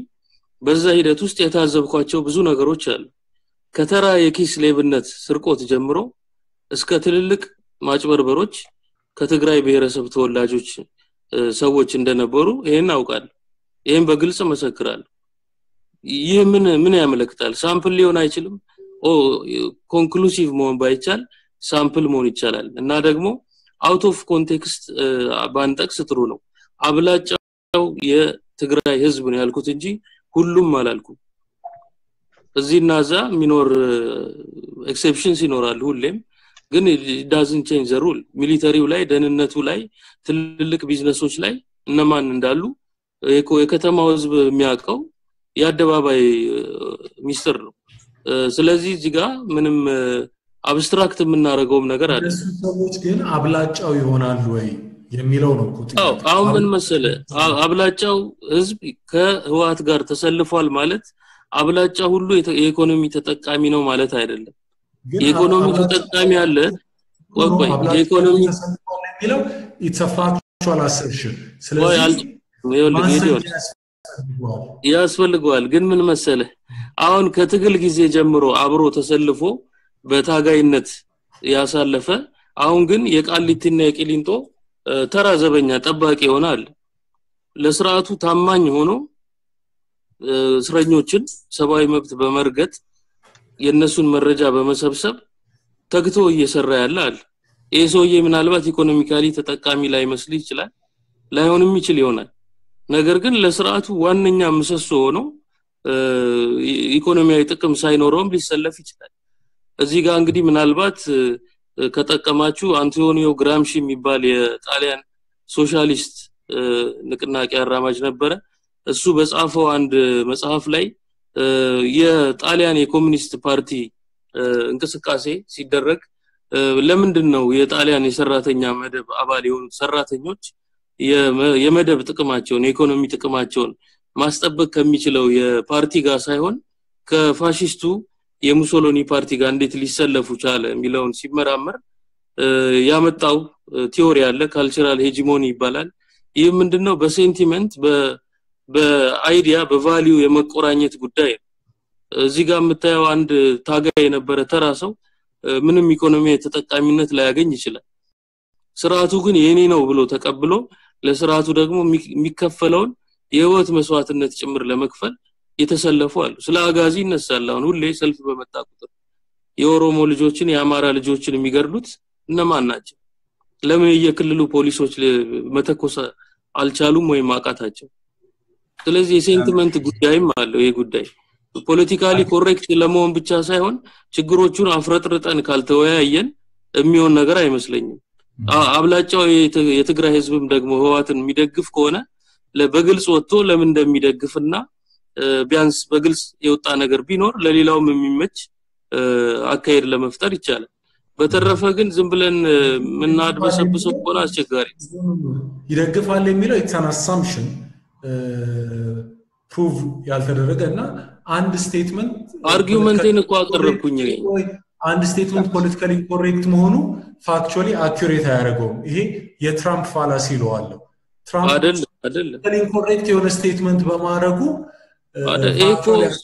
observe የምናደርገው ነገር አይደለም ወይ ነው? daily አንድ ሰው አዲስ አበባ ላይ በታክሲ ውስጥ ተሳፍሮ የሚሆን በመንገድ ላይ ሲሄድ የትግርኛ ቋንቋ በሚወራበት ጊዜ ምን አይነት feeling እንዳለው እንግዲህ በእለት ተዕለት በስራ አጋጣሚ ተንቀሳቅሰን የምናውቁ ሰዎች የምናውቀው ነው የተደበቀ እኮ ነገር አይደለም።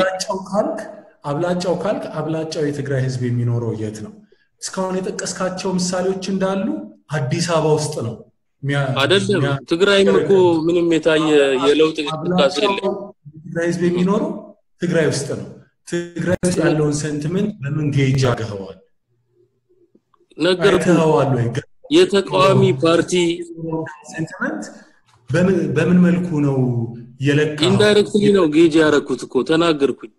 ማናችንም እኮ ጥናት አላጠናን ቢሆንስ ምንድን ነው ነገር ግን- ያልገባኝ ቢሆንስ ምንድን ነው የትግራይ ህዝብ TPLF ን ቢደግፍ ምንድን ነው ከዛ ምንድን ነው ድምዳሜው? አልገባኝም። ድምዳሜውማ ያው በአንቀጽ 39ን ተጠቅመው መገንጠል ይችላሉ ነው። ምክንያቱም አንድን ብሔር ልዕልና ይዞ የተነሳ ቡድን ያንን ደግሞ መሰረቴ መሰረቱ ነኝ ብሎ ራሱን ለዛን መሰረትነት ያጨ ህዝብ የራሱን ጥቅም ለማረጋገጥ ተለይቶ ከፌዴሬሽኑ ይሄዳል እንጂ በአብላጫው ህዝብ ኪሳራ ላይ ራሱ ሊኖር አይገባም ነው ድምዳሜው ይሄ ነው። okay ወደ ሌላ ነጥብ እንሄዳለን I think ብዙ logically ሊያከራክሩ የሚችሉ የ fact ና የንድፍ ሀሳብ እንደዚሁም የመነሻና መድረሻችን premise ኣችንና conclusion መካከል አስቸጋሪ የሆኑ reasoning ኦች ያሉበት ሁኔታ ነው ያለው። እነዚህ ነገሮች ውስጥ ገብተን ለማየት ጊዜ የለንም። actually ይሄ በጣም ይነሳል ብዬ የጠበኩት አይደለም ግን በጣም interesting የሆነና ልንወያይበት የሚገባ concept ብዙ ነገር ያለበት I think ሀሳብ ነው እንደ ሀሳብ ማለት ነው just አንድ ነገር ማለት የምፈልገው አናኒያ ያነሳኸው የግራምሺ ስራ እዛ point ላይ. I think ከዛ በላይ complex ነው። ከዛ ያለፈ nuance አለው። ኢትዮጵያ ላይ ያለው context እና Italy ያለው context ም አንድ አይደለም። ያ historical የሆነ ስራ ነው። ይሄ ታሪክ into account የሚወስደው በተለይም በ Marxism informed የሆነው ታሪክ into context የሚወስዳቸው material relations በህዝብ መካከል ያሉት ማለት ነው። በጣም context yes እንደሱ ካልንኮ ግን ያው ቅድምም የጠቀስናቸው የ constitutional intellectuals ሁሉ የራሳቸው informed የሆኑበት context አላቸው። እነ ጆን አቢንክም ሆኑ ሌሎቹም እንደዛው ስለዚህ የዚህ የተለየ አያደርገውም። ሌላው ደግሞ ጉዳይ ምንድን ነው it's just an eye theory ነው መነጽር ነው። በዚህ መነጽር ማየት እንችላለን። በዚህ ደግሞ አልሆነም ካልን ወይም አላሳመንንም ካልን ሌላ መነጽር ማምጣት እንችላለን።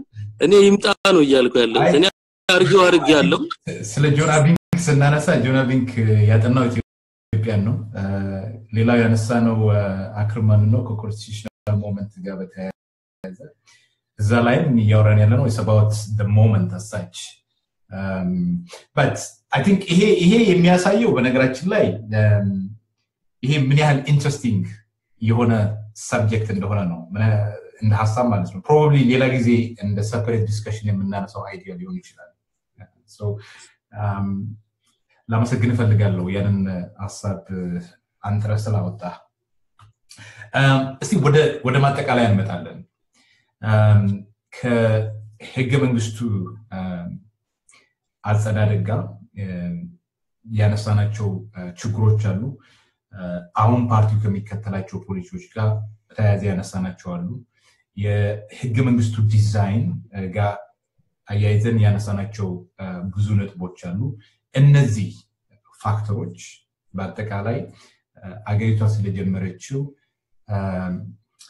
ብዙሀነትን መሰረት ያደረገ at least theoretically የህብረ ብሔራዊ ፌዴራዊ ስርዓት ግንባታ ላይ ምን አይነት እንድምታ እንዳላቸው ያየንበት interesting የሆነ discussion ነው። ህገ መንግስቱ ውስጥ አሁን ተቀምጦ የምናያቸው ይህ ከ legitimacy ጋር ያለው እስከዛሬ የነበረው ችግር እንዳለ ሆኖ ህገ መንግስቱ ውስጥ የተቀመጡት ድንጋጌዎች አሳች redeem ሊደረጉ የሚችሉና አሁን የምናየውን political fault lines የምናያቸውን የፖለቲካ ጥያቄዎች ችግሮች እንደ framework ሆኖ ወደፊት ሊያስኬድ የሚችል መዋቅር ነው ወይ? redeem ሊደረግ ይችላል ወይ? ቅድም እንግዲህ ስንነሳ 1991 ላይ ከነበሩት ነባራዊ ሁኔታዎች የተነሳ ነው አሁን ህገ መንግስት አለ። ይህ ህገ መንግስት ብዙ ችግሮች እንዳሉት አንስተናል። በምን አይነት መልኩ ጊዜ ወደ ጊዜ የተለያዩ ስትራቴጂዎች የተፈጠሩ sustain እንደተደረገ አንስተናል። አሁን ያለንበት ነባራዊ ሁኔታ አለ። ለዚህ ነባራዊ ሁኔታ ይሄ አሁን ያለው ህገ መንግስታዊ framework መፍትሄ ሊሆን ይችላል ወይ? በሁለተኛ ደረጃ ደግሞ redeem ሊደረግ ይችላል ወይ? given all these problems አሁን ያነሳናቸው እንግዲህ መዓት ችግሮች አሉ። ይሄ ሁሉ የ legitimacy crisis ባለበት context redeem ሊደረግ የሚችልበት context አለ ወይ? ሁኔታ አለ ወይ? አናንያ ከአንተ ልጀምር። እሺ መልካም። ያው እንግዲህ ቅድም እንዳነሳ ነው ነው እግረ መንገዱን እንደ byproduct የመጣ ውቅር ነው አሁን ያለው የፖለቲካ ስርዓቱ በዋናነት ለዚህ አይደለም የታገሉት። በይፋም እነሱም ይሄን አይሉም። በፕሮግራሙም በተጻፉ የርዕዮተ ዓለምም የሌላም ጽሁፎቻቸው ፌዴራላዊ ዲሞክራሲያዊ ሪፐብሊክ ዘጠኝ ክልል እንደዚህ ሁለት ከተማ ያላት መስርተን በእንዲህ መልክ እንተዳደራለን የሚል ግልጽ ነገር ከመጀመሪያ አልነበራቸው። ነገር ግን የራሳቸውን ስልጣን ለማጠናከር ሲባል ጊዜው ግድ ያለውና የተለያዩም ደግሞ ጥያቄዎችን የመለሱ በማስመሰል ስልጣን ላይ መሰንበትን እንዲቻል ያመጡት መንገድ ነው። ስለዚህ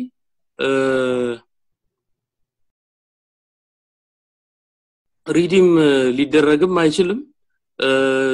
ባለው መልክ ደግሞ ቢቀጥልም ዋናው ጉዳይ እሱ አይመስለኝ። ዋናው ጉዳይ በኢትዮጵያ ላይ አብዛኛውን ህዝብ ተጠቃሚ ሊያደርግ የሚችል በተጨባጭ ማለት ነው በተጨባጭ በኑሮ ላይ በሚታይ መልክ ለውጥ ሊያመጣለት የሚችል የግለሰብ መብትና ነፃነቱን ሊያከብር የሚችል የዜግነት መብቱን እኩልነቱን into account ያስገባ ዲሞክራሲያዊ functioning ነው የሚያስፈልገው እንጂ ቅርጹ የብሔር ፌዴራሊዝም ሆነ ወይም ደግሞ የመልክዓ ምድር ፌዴራሊዝም እሱ የቅርጽ ጉዳይ ነው። ይዘቱ የሚመስለኝ በዋናነት የግለሰቦች መብት መረጋገጥ፣ የዜግነት መብት እኩልነት መረጋገጥ፣ የነፃ ተቋማት መመስረት ጭምር ይመስለኛል። ፍርድ ቤቶች ገለልተኛና ነፃ መሆን መቻላቸው፣ የ state institutions በተለይ እንደዚህ እንደ ምርጫ ቦርድ የዲሞክራሲያዊ ተቋማት የሚባሉት በገለልተኝነት መቋቋም መቻላቸው ቢያንስ የኬንያን እንኳን ያክል ርቀት የምንሄድበትን ዲዛይን ነው ማበጀት የሚያስፈልገው በዋናነት። በተረፈ ግን አሁንም በዚህ በ abstract የሆኑ የቡድን idea ዎች በፊት ጭቁን ብሔረሰቦች ይባል ነበር፣ አሁን ጭቁን ብሔሮች ተባለ። በሱ ሁሉ እየሄድን ግን ምንም ያመጣነው ለውጥ የለም። ነገ ጭቁን ሃይማኖት ወይ ጭቁን ጾታ እያልን ብንቀጥልም ብዙ የምንፈይደው ለውጥ ያለው ነገር የሚመጣ አይመስለኝም። for change ያልሞከርነው ነገር የሚመስለኝ የግለሰብ መብት መከበር ላይ የዜግነት እኩልነት ላይ ፍትህ ላይ የሚታነጽ የፖለቲካ ስርዓትን ሞክረነው የ group ና የዚህ የቡድን መብት የሚባሉት ነገሮችንም እውቅና እንደተሰጣቸው እንደተከበሩ መቀጠል መቻል ያለባቸው ይመስለኛል። በተረፈ ደግሞ በእኛ ልዩ ሁኔታ ነው ከተባለና የዚህ የብሔር ፖለቲካ ወይም የብሔር ጥያቄ ወይም ቅራኔ ወይም ደግሞ ቅድም መጀመሪያ ላይ ያልከው ይሄ የመገፋፋት አስፓይሬሽናቸው ትንሽ በሚጻረር መልክ የሚቀመጠው ነገር መተንፈስም አለበት ከተባለ የዚህ የስራ ወይም ደግሞ የብሔራዊ ቋንቋ የሚባለውን ጉዳይ በሁለቱ ትልልቅ ብሔሮች አስተንፍሶ እንግዲህ ምክንያቱም የዘላለም መልስ የሚሰጥ social science የለም። ሁሌም አዲስ contract ነው የሚደረገው በህዝብና በመንግስት መሀል። ስለዚህ ጊዜውን ዘመኑን ሊዋጅ የሚችል አሁን ሊታዩን የሚችሉ ችግሮችን መሻገር የሚችል ማስተንፈስ የሚችል አዲስ social contract ማቋቋም ይቻላል። በዛ ውስጥም ሁሉም ኦሮሞም ሆነ ትግሬም ሆነ ሃይማኖቱም even anything ራሱን identify በሚያደርገው ሁሉ የሚከበርበት መብት የሚያገኝበት በዜግነት እኩልነት አገሬ ብሎ የሚሰራበት ህግም ይሄን ብቻ የሚያቅለት በተረፈ ሌላው ጉዳይ እንዲያከብረው exercise እንዲያደርገው ክልከላ ካልተደረገ አይደረግ እንጂ ብዙ ጎልቶ የፖለቲካ መሰባሰቢያ መደራጃ ሁሉ መሆን ያለበት አይመስለኝም። እኔ የብሔርና የሃይማኖት መብት ከተከበረ የግለሰቡና የማህበረሰቡ ጉዳይ ነው። በተረፈ ግን የፖለቲካ ስልጣን ለመያዝ የፖለቲካ ርዕዮተ ዓለምን መሰረት ማድረግ ግድ የሚልበት አወቃቀር ቢኖር ከዚህ ቅርቃር ውስጥ ልንወጣ እንችላለን ብዬ አስባለሁ። የፖለቲካ ርዕዮተ ዓለምን መሰረት ያደረገ የፖለቲካ አወቃቀር ቢኖር የተሻለ ይመስለኛል የሚል ድምዳሜ ነው። ጌዲዮን ወደ አንተ ልምጣና ይሄ አሁን ያለው የፌዴራል nation building project redeem ሊደረግ ይችላል ወይ? በተጨማሪ ደግሞ አሁን ያሉት competing የሆኑ interest ኦች አሉ። የምናየው visible የሆነ empirical reality አለ። ከዚህ reality አንጻር ይሄ framework የተሻለ option offer ያደርጋል ወይንስ የተለየ አናኒያ እንዳስቀምጠው completely different vision of the future ወደፊት ሊያስኬድ የሚችል ይመስልሃል? እሺ ሙሉ በሙሉ አዲስ የሆነ አይነት አወቃቀር አዲስ የሆነ ህገ መንግስት ማርቀቅና አዳፕት ማድረግ የምንችልበት ሁኔታ ውስጥ ያለን አይመስለኝም። አንደኛ ምን አይነት አወቃቀር ሊኖረን ይገባል፣ ምን አይነት ህገ መንግስት ሊኖረን ይገባል በሚለው ላይ በጣም የተቃረኑ አይነት አመለካከቶች ነው በሀገሪቱ ውስጥ ያለው። ስለዚህ አሁን ያለውን ህገ መንግስት ገሸሽ አድርገን አዲስ አይነት ህገ መንግስታዊ ስርዓት ለመገንባት እንሞክር ብንል መግባባት የሚቻል አይመስለኝም። ካለው polarization የተነሳ በጣም ወደ ከባድ ወደ ተባባሰ ቅራኔና ማንወጣው አረንቋ ውስጥ እንገባለን ብዬ እፈራለሁ። በተለይ በተለምዶ የኢትዮጵያ ብሔርተኞች ወይም ህብረ ብሔራዊነትን ከሚያቀነቅነው ካምፕ እና የብሔረሰብ ብሔርተኝነትን በሚያቀነቅነው ካምፕ መካከል ያለው ክፍተት በጣም ሰፊ ስለሆነ እንደ አዲስ ጠረጴዛ ላይ ተቀምጣችሁ ተደራደሩና ተስማሙ ቢባል ስምምነት ላይ ሲደረስ አይታየኝም። ያ ደግሞ ከባድ ጦስ ስለሚያስከትል ያንን በር ባንከፍተው ብዬ ነው የማስበው እና already ያለውን ህገ መንግስት redeem ማድረግ የግድ ያስፈልገናል። ምክንያቱም አዲስ መስራት አንችልም። ያለውን redeem ማድረግ እንችላለንም ያስፈልገናልም ብዬ አስባለሁ። እንዴት አድርገን ነው ልናስተካክለውና መጀመሪያ ላይ ይጎድለዋል ያልነውን ቅቡልነት ሌጂትሜሲ እንዲኖረው ማድረግ የምንችለው ሲባል እሱን በጣም በዝርዝር ለመግባት ጊዜ ባይኖረኝም የተወሰኑ መጠነኛ ህገ መንግስታዊ ማሻሻያዎችን በማድረግ ከህገ መንግስት ማሻሻል መለስ ያሉ ከዛ በመለስ ደግሞ ሊወሰዱ የሚችሉ የእረምት እርምጃዎችን በመውሰድ ሁሉንም አሳታፊ ሁሉንም አካታች በሆነ የውይይት እና ዲሞክራቲክ በሆነ የምክክር መድረክ ብሔራዊ መግባባትን በመፍጠር ልናስተካክለው እንችላለን ብዬ አስባለሁ። ሪዲም ሊደረግ ይችላል ብዬ የማስብበት ሌላው ምክንያት ደግሞ ምንድን ነው? ኢትዮጵያ ውስጥ ዜግነትና የግለሰብ መብትን በዋነኝነት አትኩሮት የሚሰጥ ቡድን አለ። የብሔረሰብንና የቡድን መብትን ደግሞ ይበልጥ አትኩሮት የሚሰጥ ቡድን አለ። ሁለቱም አይነት interest ኦች ህገ መንግስት ውስጥ reflected ናቸው። እነሱን ይበልጥ ተግባራዊ በማድረግ እነሱን የሚያስታርቅ በእነሱ መካከል ደግሞ ውጥረት ሲፈጠር ያንን የሚፈታ ህገ መንግስቱን መተርጎሚያና enforce ማድረጊያ ስርዓትን በመገንባት ህገ መንግስቱን redeem ማድረግ ይቻላል። የግለሰብ መብቶች የምንላቸው ለምሳሌ ሀሳብን በነፃነት የመግለጽ መብትና የ privacy መብት clash ያደርጋሉ።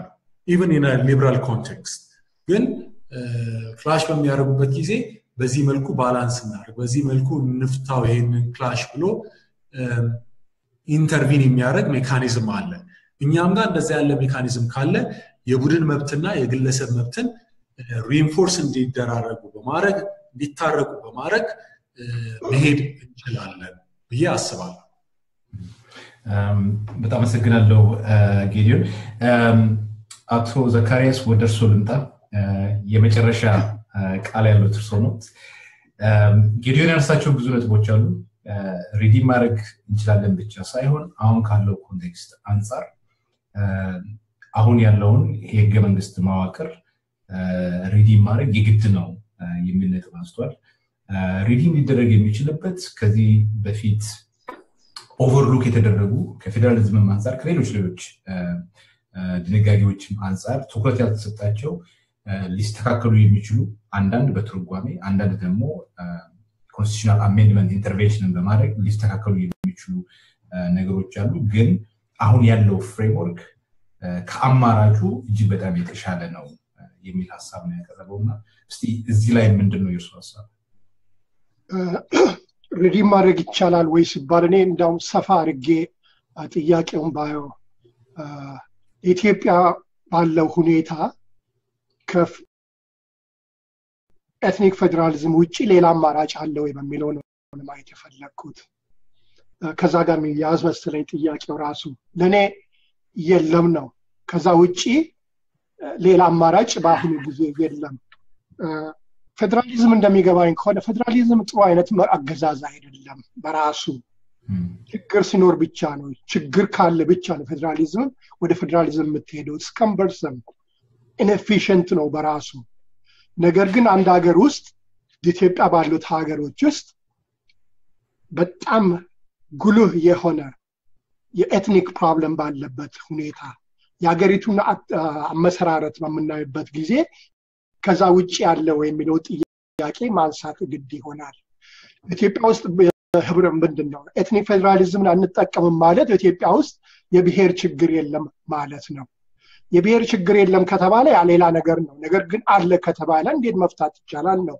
territorially concentrate አድርጎ ባለበት ብሔሮች ሌላኛው ሌላ ከሌላ አፍሪካ ሀገሮች በጣም ልዩ የሚያደርጋት ነገር አለ ኢትዮጵያ አንድ ብሔረሰብ ወይም ደግሞ የተወሰነ ክልል አካባቢ ብሔር ነው በሌሎች ላይ ሄዶ በወረራም ይሁን በሌላ መንገድ impose አድርጎ አገዛዝ የፈጠረ ያ ሁኔታ በተፈጠረ solution ወይም ምንድን ነው በአማርኛ solution መፍትሄ በምንሻበት ጊዜ መፍትሄዎችን ለመሻት ከችግሮቹ መነሳት አለብን። ችግሮቹ እንዴት ናቸው የመጡት ከምንድን ነው የመነጩት የሚሉ ነገሮችን ካላየን በስተቀር እንዲሁ በ vacuum ለሌሎች ሀገሮች ሊሆኑ የሚችሉትን መፍትሄዎች በኢትዮጵያ ሁኔታ ውስጥ ማምጣት ማለት ችግር መፍጠር ማለት ነው። እንደምናውቀው የኦሮሞን ሁኔታ በምናይበት ጊዜ ከሌላ ቦታ መጥቶ ኢትዮጵያ part of Ethiopia አደረጓት። በውድም ይሁን በግድ ያ ችግር አለ። እስካሁንም ያ ችግር አልተፈታም። በተወሰነ ደረጃ በደርግ ጊዜ የ individual ይሄ ነፍጠኛ ስርዓቱ በተወሰነ ደረጃ እንዲወገድ ተደርጓል በመሬት አዋጁ። ኢህአዴግ ከመጣ በኋላ ደግሞ የተወሰኑ ለውጦች ተደርጓል። በባህል በኩል አንዳንድ ለውጦች መጥተዋል። ነገር ግን አሁንም ያልተፈቱ የስልጣን ጥያቄ አለ። አሁንም ቢሆን ስልጣን በ northern ኦች እጅ ነው ያለው። ያ ጥያቄ እስካልተፈታ ድረስ ይሄ ethnic federalism ን ከኢትዮጵያ ውስጥ ማስወገድ ይቻላል ማለት የሚሆን ነገር አይደለም። in fact ጥያቄው ethnic federalism ወይስ ኢትዮጵያ የኢትዮጵያ መበታተን ወይስ ethnic federalism ነው እንጂ ምርጫው ethnic federalism ወይስ ሌላ አይነት አወቃቀር የሚለው ተገቢ ጥያቄም አይደለም። ለምርጫም የሚቀርብ ጥያቄ አይደለም። ያለው አማራጭ ሁለት ነው። አንደኛ ኢትዮጵያ መጥፋት ወይም ደግሞ ያለውን ህብረ ምንድነው ethnic federalism በተገቢ ሁኔታ ስልጣን ወደ south እንደሚመጣበት አይነት አድርጎ ማዋቀር ካልሆነ በስተቀር አደገኛ ሁኔታ ውስጥ ነው ያለ ነው። የሳውዙ የበላይነት ነው ወይስ እንዴት ነው? አልገባኝ። እሺ ቀጥሎ አቶ ዘካሪያስ። አሁን imperfect በሆነ ሁኔታም እንኳ ያለው ethnic federalism በተወሰነ ደረጃ የሆነ ጥያቄዎችን መልሷል። የሆነ ጥያቄዎችን መመለስ ብቻም ሳይሆን በአወቃቀር ደረጃ በ structure ደረጃ የራሱ የሆነ መዋቅሮችንም አውጥቷል። ከዛም በኋላ የፖለቲካ ኃይሎችንም አፍርቷል። ዛሬ የምናያቸው ቄሮዎች በብዛት በሚሊዮን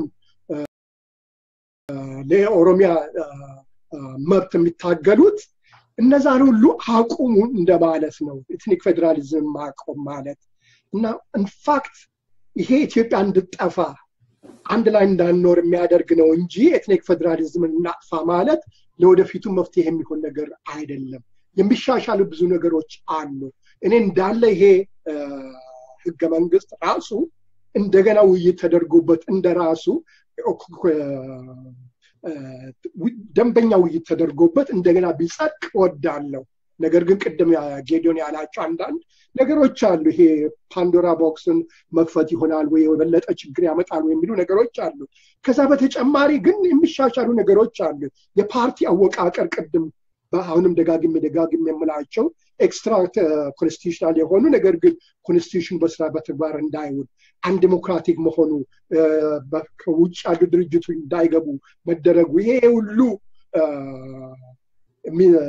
በተግባር ያን በተግባር ማዋል የሚቻል ከሆነ redeem ማድረግ ይቻላል። ነገር ግን እናጥፋው የሚለው ነገር ኢትዮጵያን እንደማጥፋት ነው የምቆጥረው።